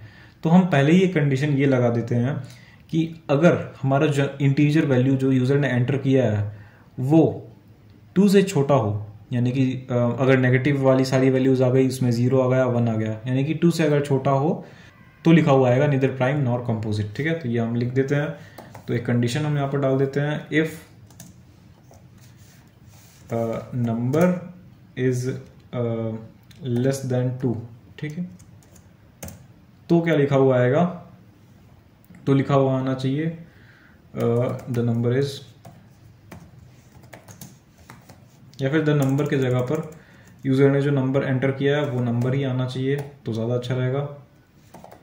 Is neither prime nor nor composite ठीक है? ये लिखा हुआ आएगा। तो अब आगे बढ़ते हैं। एल्स ठीक है? अब अब जो भी काम कराना है, अब हमें यहाँ से करवाना है। तो अब हम क्या करवाएँगे? अब हम जो भी नंबर एंटर करवाया जाएगा, उसके फैक्टर्स गिनेंगे। अगर वो फैक्टर्स टू हैं तो वो प्राइम होगा, और अगर टू से ज़्यादा हैं तो वो कंपोजिट होगा। ठीक है? तो शुरू करते हैं। और फैक्टर्स हम कैसे गिनवाएँगे? जैसे कि अगर मैं मान के चलता हूँ कि हमारे पास एक नंबर है सात, ठीक है? सेवन है। तो यहाँ पर मैं क्या करूँगा कि वन से शुरू करूँगा, ठीक है? और चेक करूँगा कि क्या वो सॉरी वन से चेक करूँगा हाँ वन से चेक करूँगा। तो चेक करूँगा कि क्या सेवन जो है वो वन के टेबल में आता है, ठीक है? अगर वन के टेबल में आया तो ये एक फैक्टर हो गया उसका, ठीक है? फिर चेक करूँगा कि क्या टू टू के टेबल में सेवन आता है ठीक है अगर आया तो टू भी उसका एक फैक्टर बन गया। थ्री आया अगर थ्री के टेबल में सेवन आया तो थ्री भी उसका एक फैक्टर बन गया फोर के टेबल में आया तो फोर भी उसका एक फैक्टर बन गया ठीक है। इस तरह से हम मान के चलते कि इस तरह से हम फैक्टर्स मान लेंगे ठीक है। लेकिन ये कैसे पता करेंगे कि कोई किसी के टेबल में आ रहा है या ना नहीं आ रहा है ठीक है। तो वो तुम्हें पता होगा कि अगर वो मॉड्यूलो का जो ऑपरेटर था हमारे पास जैसे कि आ, मैं तुम्हें बताऊँ कि अगर फोर और फिर यहाँ पर मैं ये परसेंटेज लगा दूँ और यहाँ पर टू लगा दूँ, ठीक है?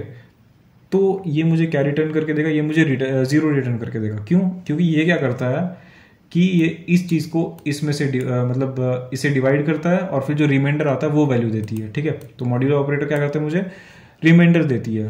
तो अगर टू जो है, वो इस चीज़ का फैक्टर हुआ तो ऑब्वियसली रिमाइंडर जो है वो ज़ीरो आएगा, ठीक है? तो हम यहाँ पर इस चीज़ का ही यूज़ करने वाले हैं कि किसी चीज़ को उस नंबर मतलब शुरू से नंबर से ले लेंगे, ठीक है? मान लेते हैं सेवन है तो हम अब यहाँ पर से कंसिडर क्या करेंगे? वन से लेकर सेवन तक के नंबर्स को ले लेंगे, ठीक है? मान लेते हैं कि हमारे पास सेवन है, चलो मान लेते हैं हमारे पास सेवन है, ठीक है? और अब अगर मेरे पास मेरे पास सेवन है ना तो मैं क्या लूँगा? One two three four five six seven ठीक है? ये सारे नंबर से लूँगा, और अब मैं क्या करूँगा ना, कि सेवन को एक एक करके डिवाइड करूँगा। सेवन बाय वन करूँगा सॉरी तो मेरे पास क्या रिमाइंडर आएगा? ज़ीरो आना चाहिए ठीक है ज़ीरो आएगा। तो यहाँ पर डिवाइड की जगह मैं डायरेक्ट मेरे को रिमाइंडर निकालना तो मैं यहाँ पर ये परसेंटेज का यूज़ करूँगा मॉड्यूलो का। तो वन करूँगा तो ये मेरे को ज़ीरो ज़ीरो देगा ठीक है? अब यही चीज़ मैं टू के लिए करूँ तो टू थ्री ज़ा सिक्स होता है तो ये मेरे को वन देगा ठीक है ना? और अगर यही चीज़ फिर मैं चलो ठीक है मैं एक एक करके समझा रहा हूँ समझ आ रहा होगा तुम्हें। थ्री के लिए करूँ तो आ, थ्री टू ज़ा सिक्स होता है तो इस बार भी वन आ जाएगा, ठीक है रिमाइंडर फिर फोर के लिए करूँ तो फोर वन ज़ा फोर होता है, और उसके बाद फिर ये थ्री रिमाइंडर आ जाएगा। यहाँ पर मैं, यहाँ पर मैं अब फाइव के लिए करता हूँ तो फाइव वन ज़ा फाइव और उसके बाद फिर टू रिमाइंडर में आ जाएगा। उसके बाद उसके बाद क्या? उसके बाद सिक्स के लिए करूँ। सॉरी सिक्स के लिए करूँ तो यहाँ पर वन आ जाएगा रिमाइंडर में। और यहाँ पर वही अगर मैं सेवन के लिए करूँ तो यहाँ पर रिमाइंडर में ज़ीरो आ जाएगा। ठीक है? तो तुम जहाँ जहाँ देख सकते हो कि जहाँ जहाँ ज़ीरो आ रहा है, ठीक है? वो बता रहा है कि वो उस चीज़ का फैक्टर है। मतलब ये चीज़ जो है, वो सेवन का फैक्टर है। ये भी सेवन का फैक्टर है। और जहाँ ज़ीरो यहाँ पर नहीं आ रहा, जहाँ रिमीटर ज़ीरो रिमीटर में जहाँ पर ज़ीरो नहीं आ रहा है, वो इस चीज़ का फैक्टर नहीं है। तो यहाँ पर तुम देख सकते हो मैंने सेवन लिया और फिर सेवन को लेने के बाद मैं चेक किस से कर रहा हूँ? वन से लेकर सेवन तक के नंबर्स को चेक कर रहा हूँ, ठीक है? सेवन को डिवाइड कर रहा हूँ वन से सेवन को टू से सेवन को थ्री से सेवन को फोर से सेवन को फाइव से सेवन को सिक्स से और सेवन को सेवन से। जहाँ जहाँ मुझे ज़ीरो मिल रहा है, मैं उस मैं उस नंबर को सेवन का फैक्टर मान रहा हूँ, ठीक है? यहाँ मिल रहा है सेवन का फैक्टर मान रहा हूँ। थोड़ा मैं इसे तुम्हें क्या करता हूँ? मैं इसे फोर के लिए इस बार करके दिखाता हूँ, ठीक है? तो यहाँ पर मान लेते हैं मेरे पास फोर है तो मैं नंबर्स कहाँ से कहाँ तक लूँगा? वन टू थ्री फोर ठीक है, इतना तक लूँगा मैं। अब मैं यहाँ पर क्या करूँगा? यहाँ पर मैं चेक करूँगा, ठीक है? तो फोर को मैं डिवाइड करके रिमाइंडर निकाल लूँ पहले वन से क्या आएगा? ज़ीरो आएगा, ठीक है? किसी चीज़ को भी वन से डिवाइड करो रिमाइंडर ज़ीरो आता है। फिर फोर को यहाँ पर ये करेंगे, फिर टू तो भी रिमाइंडर ज़ीरो आएगा। अभी थ्री के लिए करते हैं। इस बार रिमाइंडर जो है वो वन आ जाएगा। और अब यहाँ पर फोर से करते हैं तो रिमाइंडर जो है वो ज़ीरो आ जाएगा। तो तुम देख सकते हो यहाँ पर फोर की टोटल कितने फैक्टर्स है? तीन। यानी कि दो फैक्टर से ज़्यादा है। यानी कि ये कंपोजिट नंबर है। अब जिसके सिर्फ़ दो फैक्टर्स होंगे वन और वो खुद, वो है एक प्राइम नंबर वो है एक सच्चा प्राइम नंबर तो यहाँ पर अब तुम लॉजिक समझ चुके होगे कि मैं क्या करने वाला हूँ। ठीक है तो पहले मैं नंबर को लेने वाला हूँ और फिर एक सीक्वेंस बनाने वाला हूँ। वन से लेकर उस नंबर तक और एक एक करके डिवाइड करके रिमाइंडर चेक करने वाला हूँ और रिमाइंडर जो है जहाँ पर ज़ीरो आ गया, वहाँ पर मैं फैक्टर एक से बढ़ा देने वाला हूँ। मतलब कि फैक्टर वहाँ पर मैं बोलने जा रहा हूँ कि यहाँ पर इसके पास एक फैक्टर आ गया। मान लो फिर उसके बाद फिर से कहीं डिवाइड होता है और रिमाइंडर ज़ीरो आता है तो फैक्टर एक और बढ़ जाएगा कि अब ये दो फैक्टर हो गया मतलब इसके दो फैक्टर हो गए, इस तरह से होने वाला है, ठीक है? तो अब मैं सबसे पहले क्या करता हूँ कि एक वैल्यू लेता हूँ फैक्टर नाम एफ़ नाम से या फिर फैक्टर से, ठीक है? फैक्टर रख देता हूँ। फैक्टर में मान लेते हैं ज़ीरो कर देता हूँ। अभी इसके ज़ीरो फैक्टर्स है। मतलब फैक्टर्स में मैंने ज़ीरो असाइन कर दिया। अब क्या करूँगा कि जैसे जैसे मुझे फैक्टर्स मिलते जाएँगे, मैं फैक्टर्स की वैल्यू एक से इंक्रीमेंट करता जाऊँगा, ताकि मुझे पता चले कि दो फैक्टर है या दो से ज़्यादा फैक्टर है, ठीक है? तो चलो, अभी हम यहाँ पर लूप शुरू करते हैं। ठीक है? क्योंकि एक एक करके हमें सबसे डिवाइड करके चेक करना है कि रिमाइंडर क्या आ रहा है। ज़ीरो आ रहा है या नहीं। ठीक है? तो अब यहाँ पर हम लूप स्टार्ट करेंगे तो उसके लिए हम यहाँ पर लिखेंगे, अब हमें कहाँ से कहाँ तक का सीक्वेंस चाहिए? ज़ीरो से लेकर सॉरी वन से लेकर नंबर तक का, ठीक है? तो इसलिए यहाँ पर लिखेंगे फॉर आई इन रेंज कहाँ से चाहिए? वन से तो वन लिखेंगे यहाँ पर, और फिर यहाँ पर नम प्लस वन लिखेंगे, और नम प्लस वन क्यों लिखेंगे, उसका लॉजिक तुम्हें पता है। अब हमें फैक्टर की वैल्यू वन से इंक्रीमेंट करनी है कब? जब हमारे पास ये डिवीज़न हो जाए तब डिवीज़न होने पे रिमाइंडर ज़ीरो आ जाए तब, हमें फैक्टर की वैल्यू बढ़ानी है, ठीक है? तो इफ़ अब यहाँ पर हमें रिमाइंडर चेक करने की क्या ज़ीरो है या नहीं। इफ़ नम यानी कि नंबर जो हमने लिया था, उसको डिवाइड करना है किससे? आई से, ठीक है? आई में एक एक करके वैल्यूज़ आएँगी। वन आएगा टू आएगा थ्री आएगा नंबर प्लस वन तक, जिसमें कि नम प्लस वन जुड़ने वाला है नहीं, सिर्फ़ नम तक आएगा, ठीक है?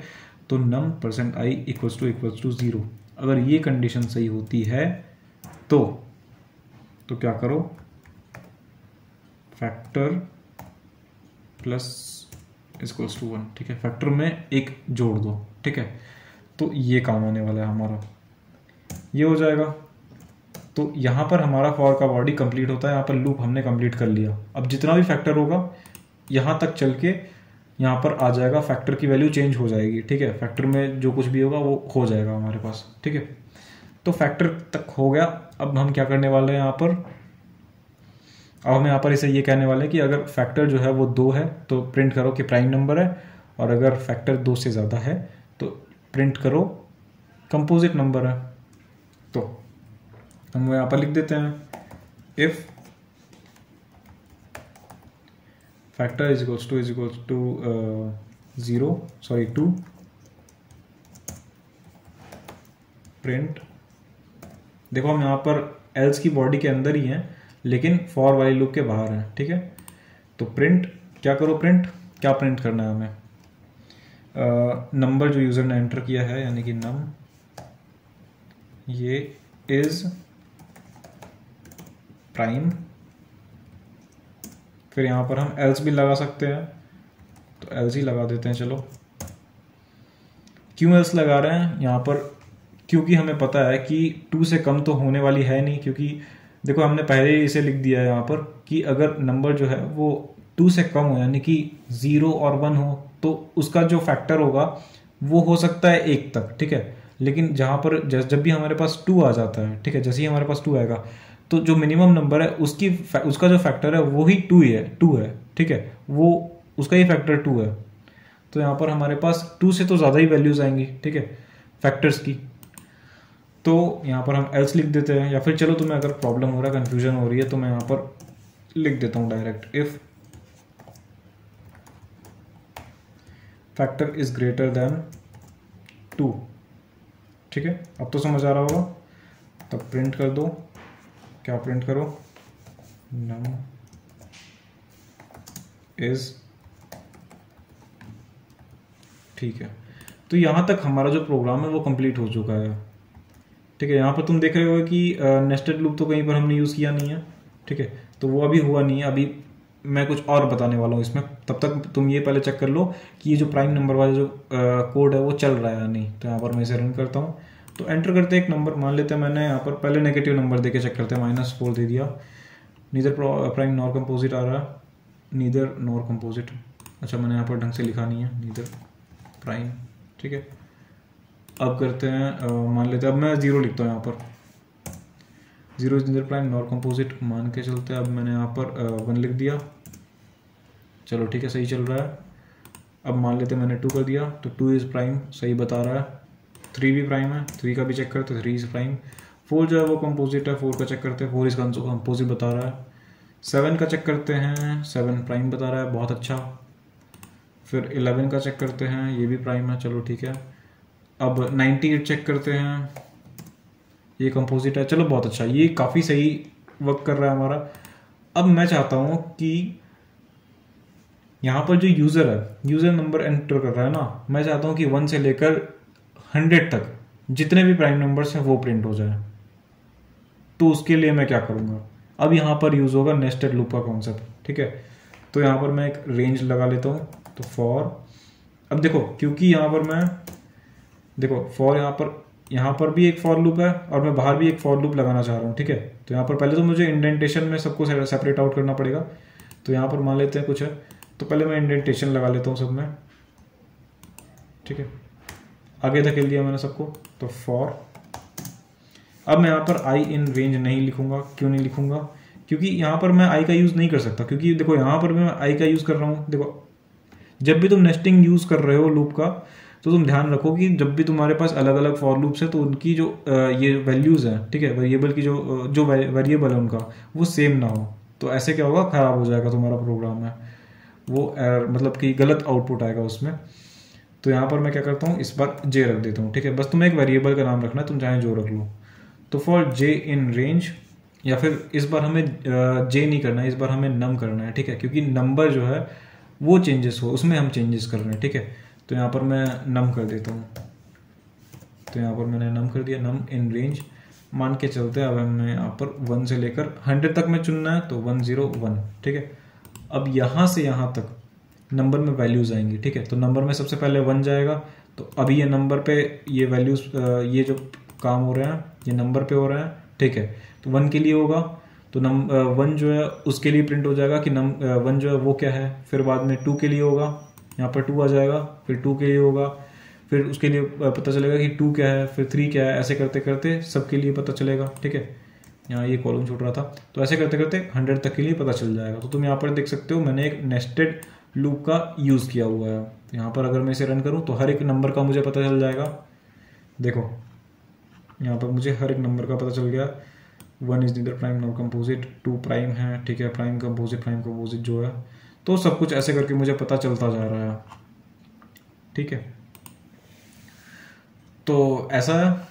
और ये था नेस्टेड लूप का कॉन्सेप्ट ये प्रोग्राम तुम्हें समझ आया। समझ आ गया तो कमेंट में मुझे बताओ।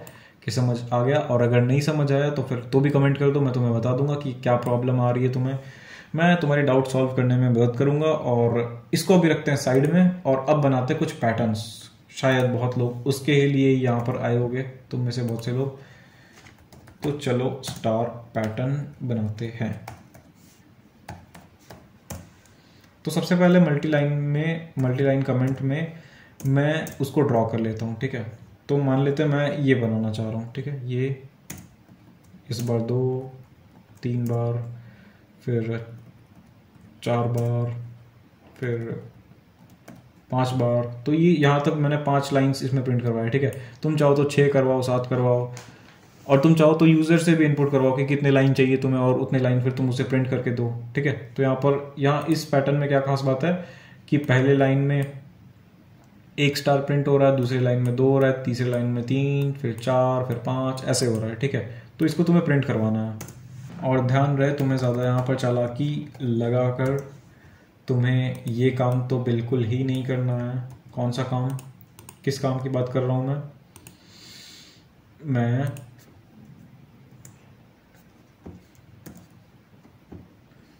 बैक स्लैश एन इस काम की बात कर रहा हूँ, ठीक है? या फिर अगर तुम्हें और शॉर्टकट चाहिए तो कोई बात नहीं। मैं यहाँ पर मल्टी लाइन का यूज़ कर देता हूँ। ठीक है? लो। बन गया प्रोग्राम बन गया पैटर्न तो ये तुम्हें नहीं करना है, ठीक है? एग्जामिनर जो होगा, वो अच्छे से मार्क्स काट लेगा, ठीक है? और दो चार गालियाँ भी लिख के देगा तुम्हें। तो ये काम तुम्हें नहीं करना। और तुम्हें करना क्या है? देखो एक शॉर्टकट भी तरीका है कि तुम इस चीज़ को प्रिंट कर लो, ठीक है? नेस्टेड लूप के बिना भी तुम इन पैटर्न को प्रिंट कर सकते हो। हर पैटर्न का मैं नहीं बोल रहा, लेकिन इसको तो प्रिंट कर ही सकते हो। तो वो मैं तुम्हें दिखाता हूँ कैसे, ठीक है? तो मैं यहाँ पर सिंपल पहले एक लूप लगाता हूँ, ठीक है? फॉर आई इन रेंज चलेगा यहाँ पर। कहाँ से कहाँ तक? वन से फाइव तक चलाते हैं। सॉरी वन से सिक्स तक चलाएँगे। क्यों चलाएँगे? पता है तुम्हें। और इसे इंडेंटेशन के अंदर लिख देता हूँ मैं। प्रिंट क्या प्रिंट करो? स्टार ही तो प्रिंट कर रहा है। स्टार प्रिंट करो? ठीक है, अगर मैं इसे अभी रन करके देखूँ तो ये क्या कर रहा है कि ये एक एक करके मुझे प्रिंट करके दे रहा है, ठीक है? लेकिन अगर मैं यहाँ पर एक और, एक ये चीज़ लगा दूँ। यहाँ पर मैं क्या कर रहा हूँ? रेप्लीकेशन ऑपरेटर का यूज़ कर रहा हूँ। अगर तुम्हें, तुमने स्ट्रिंग पढ़ा है तो शायद तुम्हें पता होगा। तो देखो, यहाँ पर मैं रेप्लीकेशन का यूज़ कर रहा हूँ इन और आई ठीक है? अभी मैं तुम्हें बताऊँगा इसका मतलब है क्या, ठीक है? तो देखो यहाँ पर ये प्रिंट हो जा रहा है। तो यहाँ पर मैं नेस्टेड लूप के बिना भी कर चला पा रहा हूँ इस चीज़ को, ठीक है?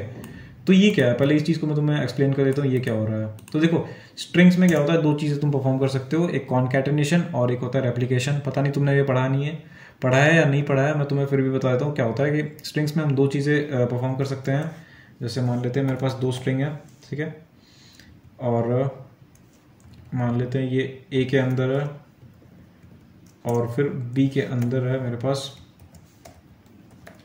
तो मैं कॉन्कैटिनेट कर सकता हूँ इन दोनों को और रेप्लिकेट कर सकता हूँ, ठीक है? कॉन्कैटिनेशन मतलब कि दो स्ट्रिंग्स को आपस में जोड़ना है, यानी कि C is equals to A plus B हो गया, ठीक है? ये हो गया। तो मैं यहाँ पर अगर प्रिंट भी करवाऊँ ना, देखो अगर मैं प्रिंट करवा दूँ, किसको प्रिंट कराऊँ सी को। तो ये मुझे ऐसे राजनाथ प्रिंट करके दे रहा है, ठीक है? यानी कि कॉन्कैटिनेशन मतलब दो स्ट्रिंग्स को हम आपस में जोड़ भी सकते हैं और रेप्लीकेट कर सकते हैं। देखो, जोड़ने का तो हो गया। मैं इसे इस तरह से भी लिख सकता हूँ या फिर मैं उसे डायरेक्ट इस तरह से भी लिख सकता हूँ कॉन्कैटिनेशन का। राज अलग और फिर यहीं पर, फिर नाथ, ठीक है? ऐसे करके। तो मैं इसे ऐसे भी कर सकता हूँ, ठीक है? तो मैं खुद का भी दिमाग लगाना है। तो ये तो कॉन्कैटिनेशन स्ट्रिंग्स में हम ये परफॉर्म कर सकते हैं और एक रेप्लीकेशन परफॉर्म कर सकते हैं। रेप्लीकेशन कैसे परफॉर्म करेंगे? उसके लिए मुझे बस एक स्ट्रिंग चाहिए होती है, ठीक है? और एक स्ट्रिंग को हम फिर जितना मन, उतने बार परफॉर्म मल्टीप्लाई कर सकते हैं। जैसे कि मान लेते हैं प्रिंट करना है सी और उसके, उसको मल्टीप्लाई करो, फिर तुम किसी भी नंबर से मान लो चार अगर करोगे तो वो चार बार प्रिंट हो जाएगा, ऐसा है इसका। देखो, राज है तो राज राज राज राज, चार बार प्रिंट हो गया, ठीक है? इस तरह से होता है, ये सी को तो मैं हटा देता हूँ। चाहे तो तुम इसको यहाँ भी यहीं पर ये कर सकते हो, यहीं पर फोर लगा दो और इसको चार हटा दो, ठीक है? तो अभी भी ये वैसा ही आउटपुट देगा, राज राज राज राज, ठीक है? तो ये काम यहाँ पर से तुम करा सकते हो रेप्लीकेशन का। तो कौन कौन से काम हमने करा लिए? कॉन्कैटेनेशन और रेप्लीकेशन तो ये चीज़ें छोटी सी चीज़ थी, ये मैंने तुम्हें अभी समझा दिया। अब मैं तुम्हें ये बता रहा हूँ कि ये कैसे काम कर रहा है, देखो। तो इसको मैं रन करके दिखा रहा हूँ। देखो, काम कर रहा है ना? अब देखो क्या हो रहा है। फॉर आई तो आई में पहले वन जा रहा है, ठीक है? तो वन में ये आ गया, ठीक है? और वन में आने के बाद ये मल्टीप्लाई हो रहा है वन से, ठीक है? यानी कि एक बार प्रिंट होगा वन मतलब स्टार्ट जो है वो एक बार प्रिंट होगा। फिर वापस ऊपर उठ के यहाँ पर जाएगा, फिर ये टू हो जाएगा, ठीक है? यहाँ से ये टू को उठाएगा आई उसके बाद फिर स्टार प्रिंट होगा। कितने बार प्रिंट होगा? कितने बार से रिप्लीकेट हो रहा है ये? आई बार आई बार रिप्लीकेट हो रहा है तो ये दो बार प्रिंट होगा। उसी तरह से जब तीन आएगा तो ये तीन बार बार प्रिंट होगा। फिर चार आएगा, चार बार प्रिंट होगा, पाँच आएगा, पाँच बार प्रिंट होगा छः आएगा नहीं तो ख़त्म हो जाएगा। तो इस तरह से ये काम कर रहा है और ये आसानी से प्रिंट हो चुका है। लेकिन एग्ज़ाम्स में हमें क्या बोला जाता है कि तुम इसे नेस्टेड लूप से बनाओ, ठीक है? नेस्टेड लूप से बनाओ।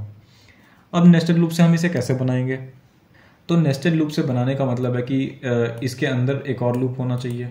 तो उसे समझने के लिए मैं तुम्हें एक ट्रिक बताता हूँ।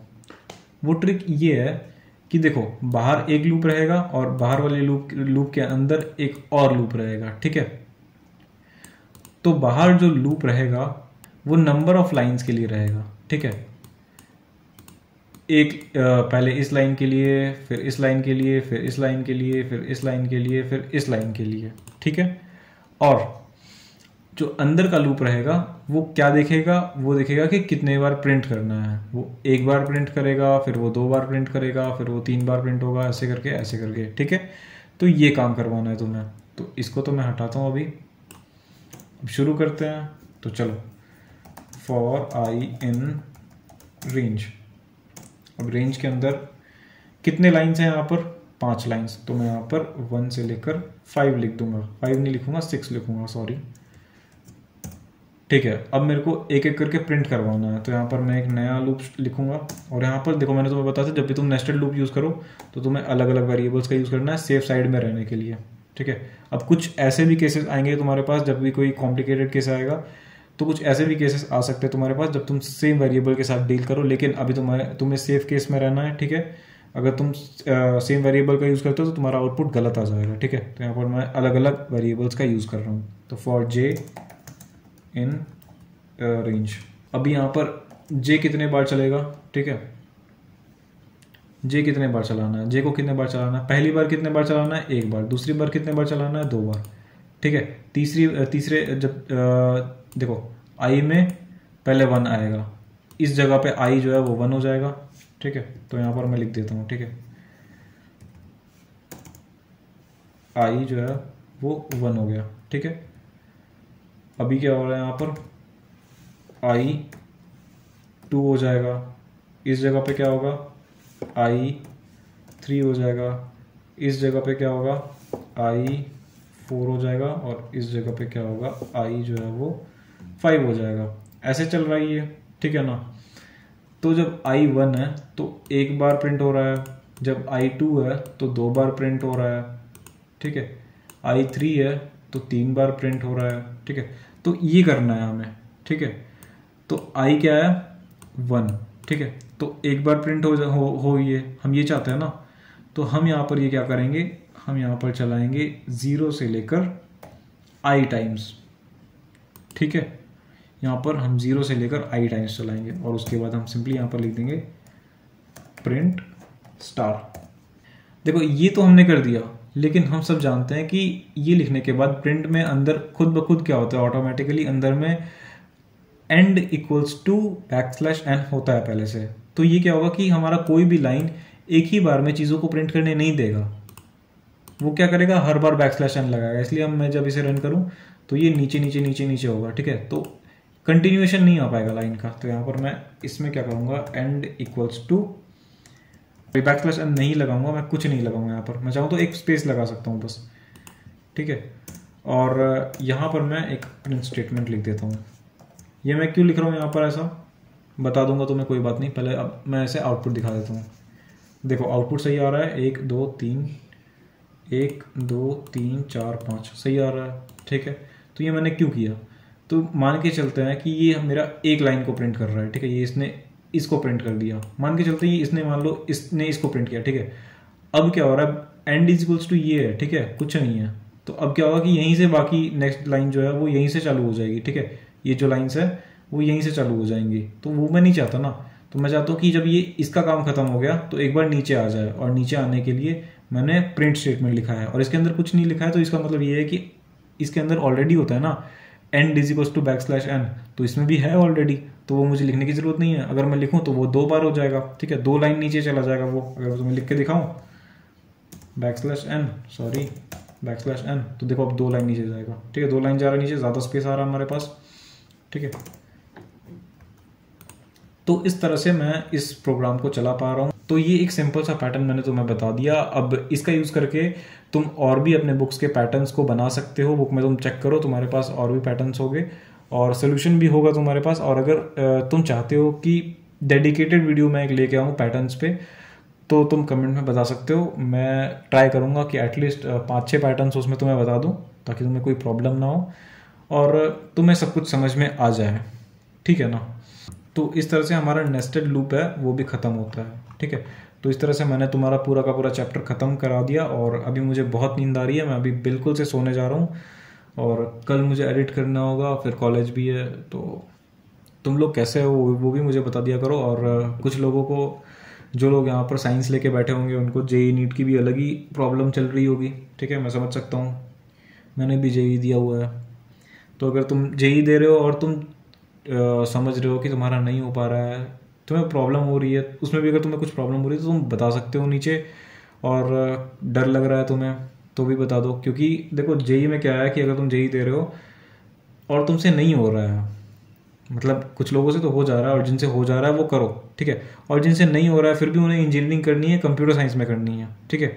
उनके लिए मैं ये बोलना चाह रहा हूँ कि अगर तुम्हें ये करना है तो देखो, तुम जेई में पहले एक डिसेंट परसेंटाइल ले आओ। मैं ये नहीं कह रहा कि तुम नाइन्टी अबाव ही लाओ, तुम मान के चलो तुम्हारी सत्तर आ जाते हैं, ठीक है? सत्तर परसेंटाइल भी आ जाते हैं तो भी तुम्हें एक ढंग का कॉलेज में मतलब प्राइवेट ही मिलेगा, ठीक है? लेकिन किसी ना किसी कॉलेज में तुम्हें सीएस मिल जाएगा और उसके बाद तुम कुछ भी कर सकते हो। मतलब अपना जो भी मन का है, वो तुम कर सकते हो, ठीक है? क्योंकि सिर्फ़, देखो काउंसलिंग भी होती है तो काउंसलिंग जोसा की काउंसलिंग होती है, और और भी काउंसलिंग होती है, हर एक स्टेट की अलग अलग काउंसलिंग होती है तो इन काउंसलिंग में तुम अगर ज़्यादा दिमाग लगाओगे तो तुम्हारे लिए चीज़ें आसान हो जाएँगी, लेकिन ये कब होगा?